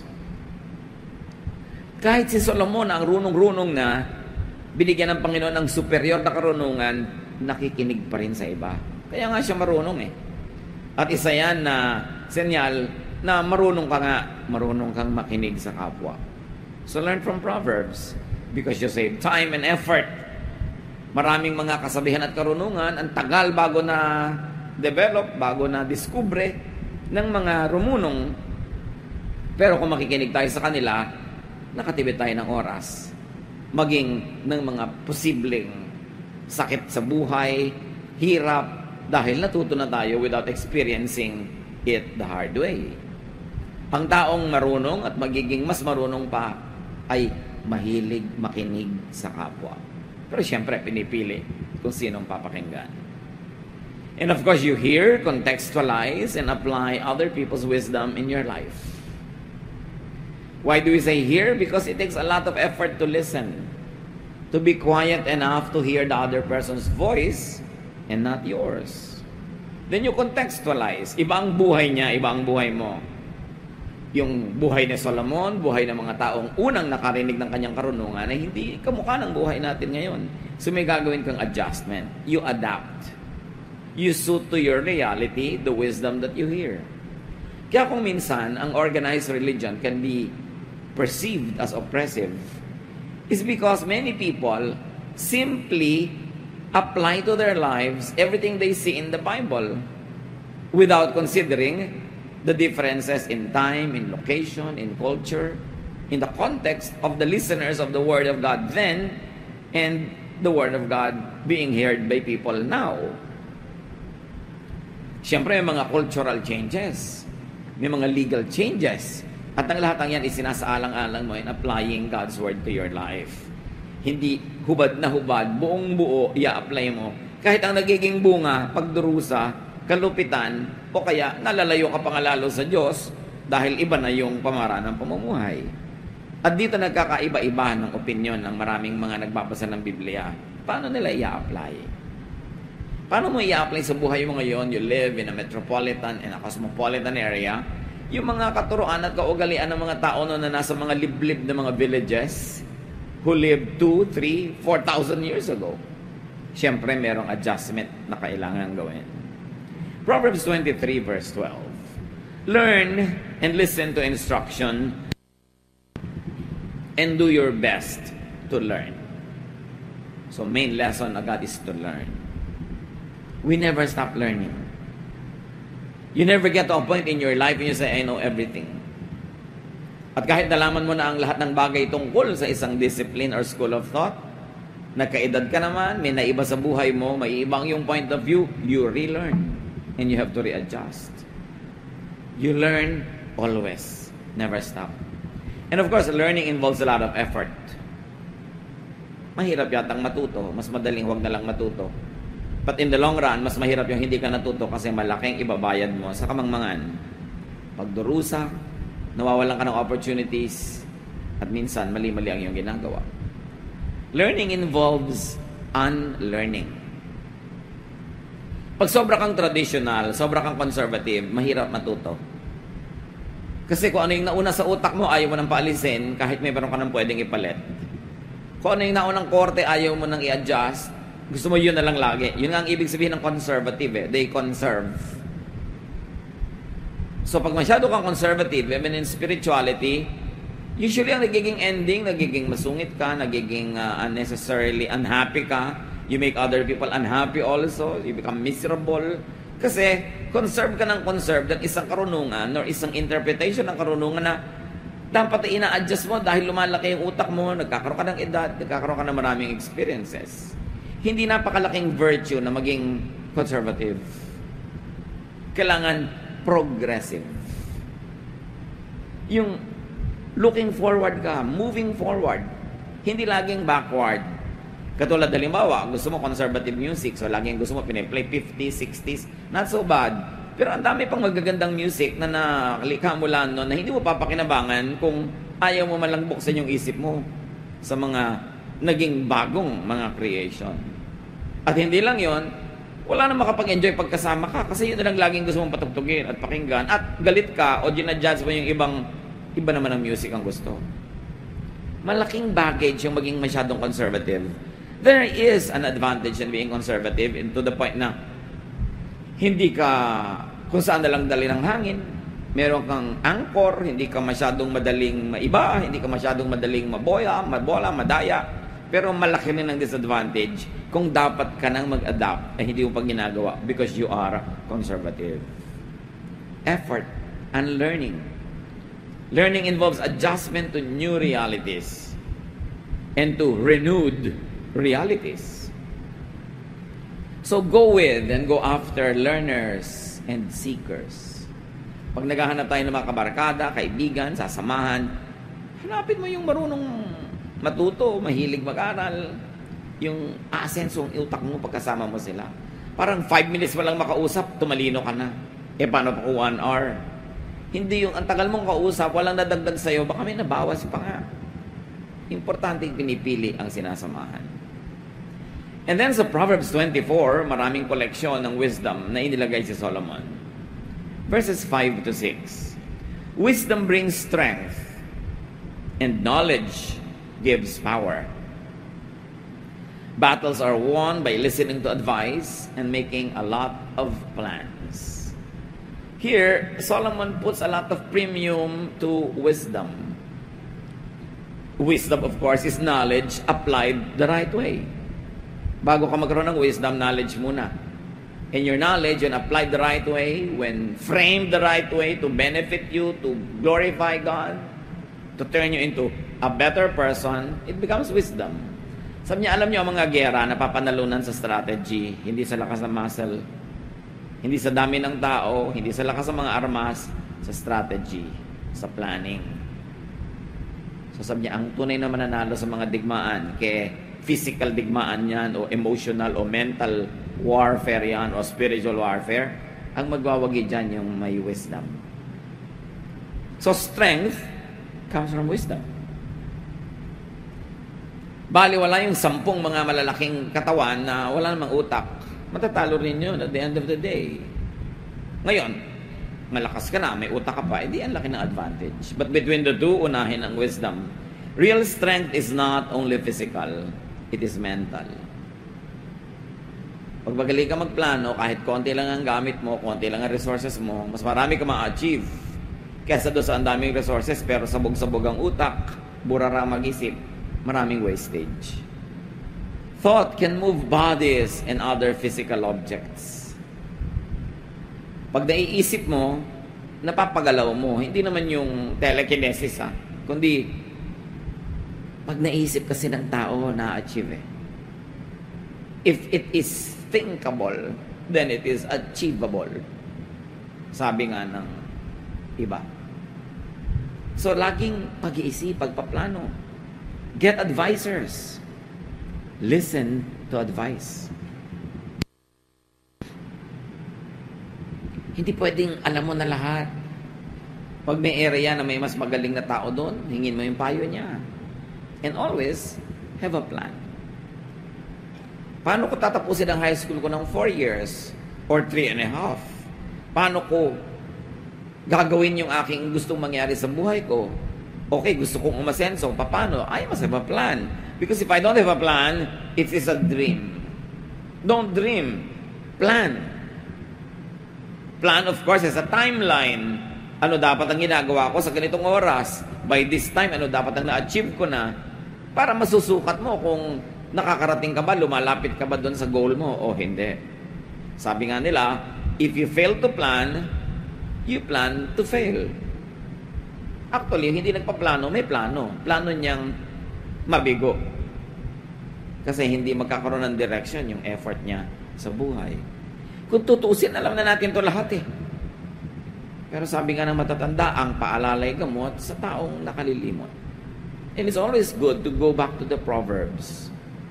Yung dala mo, dala mo lagi Bible mo, kay electronic yan, o talagang tunay na mga papel na pages. Tapos, kahit na may kausap ka, 3 minutes pa siyang bago dumating, nagbabasa ka ng konting Proverbs, ang dami na agad ang napala mo nun. Always feed yourself with wisdom of the ages. At nandyan, maraming Proverbs. Chapter 24, verse 7, Wisdom is too much for fools. Their advice is no good. So fools cannot appreciate wisdom. So do not try to discuss wise things with a foolish person. Magagalit siya, mabobor, maiinis lang sa'yo.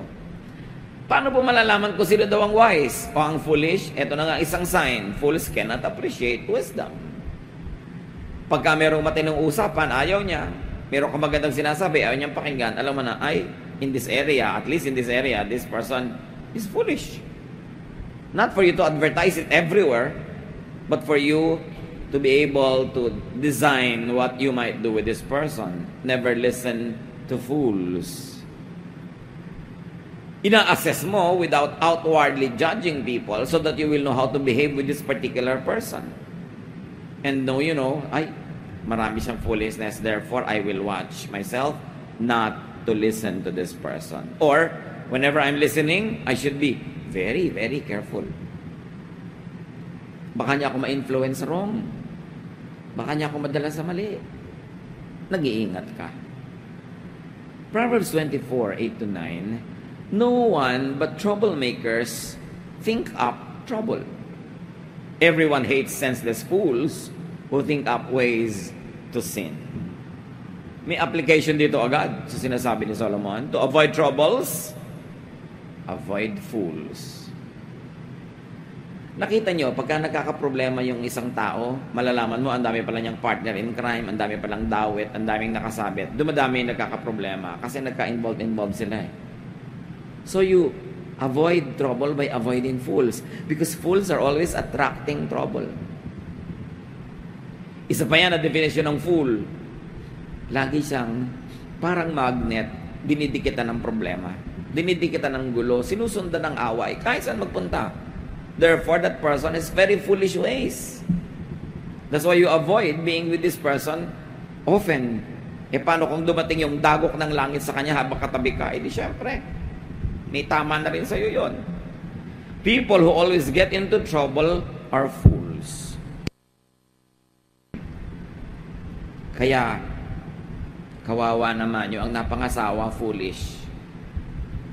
Wala na siyang ginawa kundi ayusin yung gulo na sinusuotan ng asawa niya.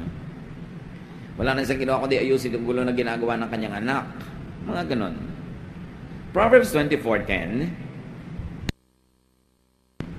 Don't give up and be helpless in times of trouble. Ito, ang mahalagang wisdom. So, times of trouble are times for firmness and perseverance. Pagka mahirap, may project ka dumating sa oras na hirap, may pagsasama kayo mag-asawa, dumadaan kayo sa oras na magulo, mahirap, sabi, don't give up. May ginagawa kang proyekto, dumating ka sa period, ang hirap na, don't give up. Nag-aaral ka, ang hirap na, don't give up. Alam nyo kasi ang mangyayari pag nag-give up kayo mga kapatid? Lalaki na sana yung mundo nyo, dinadala na kayo ng problema nyo sa opportunity na matatalo nyo siya. At alam nyo naman ang mangyayari pagka nanalo kayo over the problem and over the trouble. Lalaki yung utak nyo, lalaki yung confidence nyo, lalaki yung mundo nyo. Pero pagpapalaki na yon, tapos biglang natakot ka, tinamad ka, ayaw mo nang mahirapan, umatras ka sa safe area, umatas ka sa comfort zone mo, pinaliit mo yung mundo mo. At ano mangyayari doon? Pag pinaliit mo, baka buong buhay, hindi ka na magkalakas loob uli na harapin yung malaking challenge. Therefore, pagkakasyahin mo na yung sarili mo sa maliit na mundo all your life. Nahihirapan ka na mag-aral. So, nag-give up ka na. O di-drop out ka ngayon. Kailan ka pa uli magkakaroon ng lakas ng loob na mag-enroll? Eh, nadala ka na, natakot ka na. Habang tumatagal yung panahon na umatras ka doon sa problema, lalong lumalaki yung paniniwala mong hindi mo naman talaga kaya yon. Or buong buhay, nag-iisip ka, kinaya ko kaya o hindi. May trouble kayo mag-asawa, ang laking gulo. Hihiwalayan mo na lang, lalayasan mo na lang, o sosolven mo yan. Kasi kung hiniwalayan mo, liban na lang, nanganganib yung buhay mo dahil ang trouble pala, eh, gusto kanyang patayin, no? iba naman yon. Pero hiniwalayan mo, ano ngayon ang gagawin mo? Kasama ka na lang sa iba. O sasama na lang siya sa iba. O pareho na lang kayong walang partner all your life. Thinking, ano kaya mangyayari ko ipinaglaban ko? So pag nakasubo ka na, lalo't hindi man masama yung kinasubuan mo, marriage, project, business, ituloy mo kahit mahirap. Na kung hindi mo nagtagumpay, hindi ikaw ang may kasalanan. Pero mahirap yung ikaw na mismo ang sumuko dahil ayaw mo nang mahirapan pa. Kasi kung alam mong hindi naman ikaw ang sumuko, talaga lang hindi tama ang panahon, talaga lang hindi nangyari ang dapat mangyari, susubukan mo ulit yun eh. At malamang na mapagtagumpay naman yung susunod. Pero pag ikaw mismo yung umatras, may effect sa'yo yon. Mawawalan ka na ng pananalig sa pwede mong magawa habang buhay ka na ngayong makukulong sa maliit na utak. Sayang naman ang buhay. Kung uubusin mo na lang sa maliit na mundo, eh pwede namang lumaki. Lesson from Solomon, don't give up in the middle of difficulty. Tsaka kung sa kalagitnaan ka, tsaka titigil, di sayang lahat yung investment mo, sayang yung nailagay mo na na effort, panahon, sayang. Huwag niyong padaliin ang buhay na tuwing may mahirap, aatras na lang kayo sa madali. Kasi magsisimula kayo ng pattern ng atras, ng atras, ng atras. Ang buhay dapat abante ng abante ng abante para umaasenso. Proverbs 24, 11 to 12. Don't fail to rescue those who are doomed to die. Don't say, I don't know it. God can read your mind. He watches each of us and knows our thoughts. And God will pay us back for what we do. Ano daw ang huwag na huwag gagawin? Huwag umiwas tumulong sa isang taong nanganganib ang buhay. In fact, rescue those who are in danger of dying. Why? Because life is most precious. God is life. God is the bigger giver of life. And therefore, life must be saved as much as possible. Iba naman siyempre kung may gusto kang iligtas pero sa pagliligtas mo ay mamamatay ka rin o maraming mamamatay, doon ka mag-iisip kung dapat mo bang gawin or not. Pero yung hindi mo naman ikamamatay, halimbawa, o merong bloodletting, merong donation ng blood, ikamamatay mo ba naman na mag-donate ng mga isang balding dugo? Kung gusto mo isang galon na lang, isang pint, hindi mo naman ikamamatay yung regular na idinodonate, ba't di ka mag-donate? Nagliligtas ka ng buhay nun. Kahit hindi mo kaharap yung nag-aagaw buhay, maimpang dudugtong sa buhay ng isang maaaring malagutan ng hininga dahil walang dungong available, yung ibibigay mo. Isipin mo, isang tao, imbes na matay na ngayon, dahil na-donatean mo yun ng dugo, na buhay pa ng 25 years, 10 years, o kahit 3 days. Napakahalaga ng bawat sandali kung ikaw yung taong mayroong nagbuhay na gusto mong pahabain. So mahalaga nagtumutulong tayo. Yung nagpapadala ka ng mga donation mo sa mga nasasalanta, hindi mo alam, simpleng kumot can save somebody sa kanyang ginaw na kung hindi siya nakumutan, eh nagkaroon pa siya ng pneumonia at kinamatay pa niya. You can never tell. Basta't ang sinasabi, huwag kayong magmamaang-maangan, alam ng Diyos ang iniisip niyo. At dahil siya ang nagbigay ng buhay, pinagpapala niya ang sino mang nagdudugtong ng buhay kanino man. Mas hindi mo kilala, mas hindi mo mahal, mas heroic. Mas wala kang mapapakinabang sa paghaba ng buhay niya, mas nakaluluwalhati sa Diyos. Napakahalaga ng buhay. Marami tayong pwede magawa para pahabain ang buhay ng tao. Kumisan, simpleng-simpleng tinulungan mo na mag-enroll, hindi mo alam, pinahaba mo ang buhay dahil hindi ba meron nga hindi nakakapag-enroll, nagpapakamatay. So tinulungan mo lang pala sana makapag-enroll, humaba yung buhay ng tao. Alam niyo yung mga bunga ng ating mga tulong, hindi naman natin alam lahat ng nagiging bunga eh. Pero alam ng Diyos. At sa palagay niyo, yung Diyos na marunong mag-compute, marunong magsuma, hahayaan niya na hindi niya kayo gantimpalaan sa tamang ginagawa. Always be in the giving mode. Konting-konti lang dapat sa panahon ng tao na siya ay nasa receiving mode. Pag siya ay sobrang mahina, pag siya ay sobrang may sakit, pag talagang nagkalaki pa mga bagay sa paligid niya para hindi siya makakilos. Pero yung kaya natin, we can give. It's important.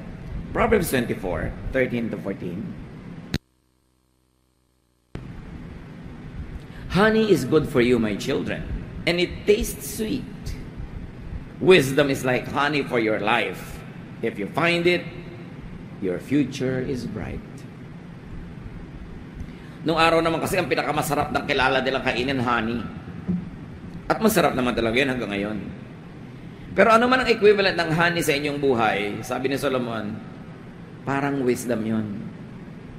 Kung paano nyo hinahanap-hanap, at kung paano kayo nasasarapan, Ganon dapat ang gawin yung paghahanap sa wisdom dahil masarap maging wise. Find and enjoy honey or wisdom. May kausap ka, ang hanap mo karunungan niya. Meron kang a-attendan ng mga event, ang hanap-hanap mo, anong matututunan ko dito? Anong madadagdag sa isip ko? Anong karunungan ang magpapaganda sa buhay ko? Sabi, kailangan mong hanapin lagi yan kung saan ka rumurunong, kung saan lumalaki yung isip mo, dun ka maglagi. Ikabubuti mo yun. Verses 15 to 16. Don't be a cruel person who attacks good people and hurts their families. Even if good people fall seven times, they will get back up. But when trouble strikes the wicked, that's the end of them. So huwag daw maging malupit. At huwag sasalakay ng mga tao, pati ang kanilang mga pamilya. Lalot yung tao mabuti. Huwag na huwag kang gagawa ng masama sa mabuti. Kung tayo nga ay tinuturoang huwag gumawa ng masama sa masama, hindi lalo namang sa mabuti, hindi dapat gawin yon. At huwag na huwag daw idadamay ang mga pamilya nila. Mabuting tao sila, sasalakayin mo, pati pamilya nila apektado. At bakit daw? Kasi ang mabubuting tao daw, makakabangon at makakabangon. Itulak mo yan, babangon yan. Kikisin mo yan, magsusurvive yan. Gawan mo yan ng masama, magsusurvive yan at babangon muli. Anong gagawin nila sa iyo pag nakabangon na sila uli? Sabi, huwag na mong gagawa ng masama. Kasi kakampi nila ang Diyos. Bakit mo gagawin yon? Don't be cruel, especially to good people. Don't be cruel to the bad, but more than that, do not be cruel to the good. Because good people recover. So yeah, the bad people will not recover. When God strikes them, they will not recover. But the good people will always be raised up by God again. So huwag mo silang pagsasamantalahan, huwag mo silang kakawawain. Darating ang panahon, baka ikang ikabubuhay, walang awa sa iyo ng good people na ginagawa mo ng masama. So, ba't ka gagawa ng masama? 17 to 18. Mahalaga rin to mga kapatid ha. Don't be happy to see your enemies trip and fall down. The Lord will find out and be unhappy. Then He will stop being angry with them. Ang konteksto, galit ka sa isang tao. Ngayon, bigla siyang nagkasakit, naghirap, nasunugan, binaha, nasalanta. Tuntua ka ngayon. Ganun, huwag na huwag mong gagawin yan. Pag nakita ng Diyos na natutuwa ka sa nangyayari sa mga taong yan, sa mga kalaban mo, sa mga masasama, huhupa ang galit ng Diyos sa kanila at baka sa iyo pa bumaling.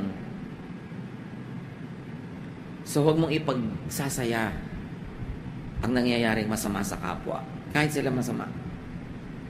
Do not celebrate people's ruin even if they were your enemies.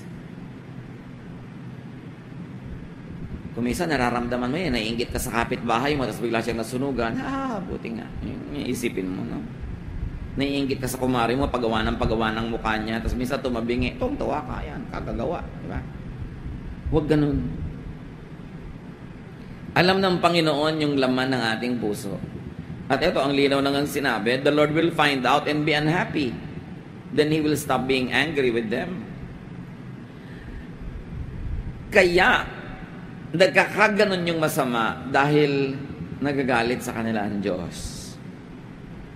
Pero sabi, pag pinagtawanan mo, pag ipinagbunyi mo ang kanilang mga hirap, mawawala yung galit ng Diyos sa kanila. Anong ibig sabihin? Eh di titigilan na ng Diyos yung pagdisiplina sa kanila. Ano nang ipagsasaya mo? Dilulungkot ka na naman, maingit ka na naman, magagalit ka na naman. So be wise. Don't celebrate people's fall. God ruins people because He's angry with them. And God's anger will be wiped away when God sees that you celebrate the suffering even of evil people. Proverbs 29, 24 rather, 19 to 20. Don't let evil people worry you or make you jealous. They will soon be gone like the flame of a lamp that burns out. Nararanasan nyo na ba yung kumisan mga kapatid? Sana hindi. Yung naiinggit ka sa masama. May gumagawa ng mali, tapos parang umaasenso, sumisikat, yumayaman, And then nainggit ka, nagsiselos ka. Ang bunga nun, mamaya gusto mo na rin gawin yung ginagawa niyang mali. So, mapapasama ang iyong kalagayan. Alam ng Diyos ang nangyayari.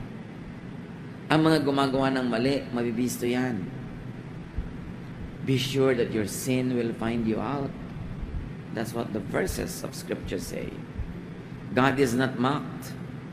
Whatever a man sows, he shall reap. So do not problematize or envy bad people.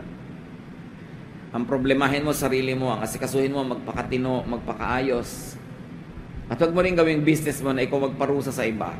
God knows what to do. Be good. Don't return evil for evil. God knows His business, and God is God of justice. And finally, sa collection, Proverbs 24, 21 to 22, My children, you must respect the Lord and the King.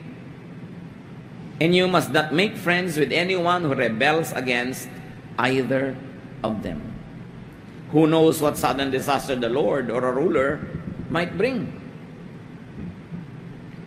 Ayaw na ayaw ng Diyos ng rebelliousness. Kaya Kanya o sa Kanyang mga piniling mga namamahala. And generally speaking, unless a ruler is obviously, hopelessly evil, God likes that ruler to be in his position. Kasi kaya naman ng Diyos alisin yan eh, kung ayaw na niya. So ang sabi dito, mga anak, tiyakin nyo lang na iginagalang nyo ang Diyos at ang hari. Wala na tayong hari ngayon, so ano yon? Figures of authority. Employers, superiors, leaders. Sige nun, make sure that you respect the Lord and your leaders. And you must not make friends with anyone who rebels against any of either God or the leader. Okay, hindi naman ikaw yung nagre-rebel, pero nakikipagkaibigan ka, nagko-cooperate ka doon sa nagre-rebel, damay ka rin. Sabi niya, alam mo ba kung anong pwedeng dilubyo ang pwedeng datnin ng sino mang lumalaban sa hari o sa Diyos. Hindi mo alam. So, huwag ka maglaro sa ganyang larangan, mapanganib. Huwag kang makikipagsabuatan, huwag kang makikipagtulungan, huwag kang makikipagbulong-bulungan sa mga rebellious people. May parusa yon. Liban na lang yung nire-rebella nila, Diyos sa mismo nagsabing rebel against that king because he is obviously, hopelessly, clearly bad. Unless that kind of condition is met, we are to submit to authority. We are submit to those who are on top of us because if God doesn't want them anymore to be in that position, what is too hard for God? Is it too hard for God to remove them? Sasabi, huwag kang makikipag sabuatan sa mga gustong gumawa ng gulo. Respect those in authority. Do not flaunt your strength or your charisma or your money. Respect those in authority. Pag sinabi mong, bakit siya ang nasa position of authority and not me? Eh kung gusto ba ng Diyos na ilagay ka doon, mahirap ba lang gawin yun ng Diyos? Nandiyan ka dahil diyan ka dilagay. So magpakatino. Do not cooperate with rebels. God is usually on the side of those who are in authority unless those in authority are clearly, obviously, terribly bad. Nuggets of wisdom to learn from Solomon. Be wise. Please God. Be happy. And it is in being wise that people find deeper happiness in life. Salamat Ama sa mga paalala niyo po sa amin. Salamat po sa mga tagubilin. Turuan niyo kami. Maalala, kahit kalahati man lang itong pinag-aralan ngayon, mabuti kong lahat, pero kahit mading konti. Lalong-lalo yung kailangan naming maalala at ma-apply sa buhay namin. Teach us to always remember and apply wisdom in our lives. Pahalagahan namin yung marurunong, inatuturo sa amin. Umiwas kami sa mga foolish people. At huwag kami makikipagsabuatan doon sa mga taong ang pinupuntahan ng buhay nila ay gulo. Teach us, O Lord, to observe this and teach us to be agents of wisdom to people that we influence. Na sino man ang makasalamuha namin, maturuan at matulungan namin, Panginoon, ng mga natututunan namin sa inyo.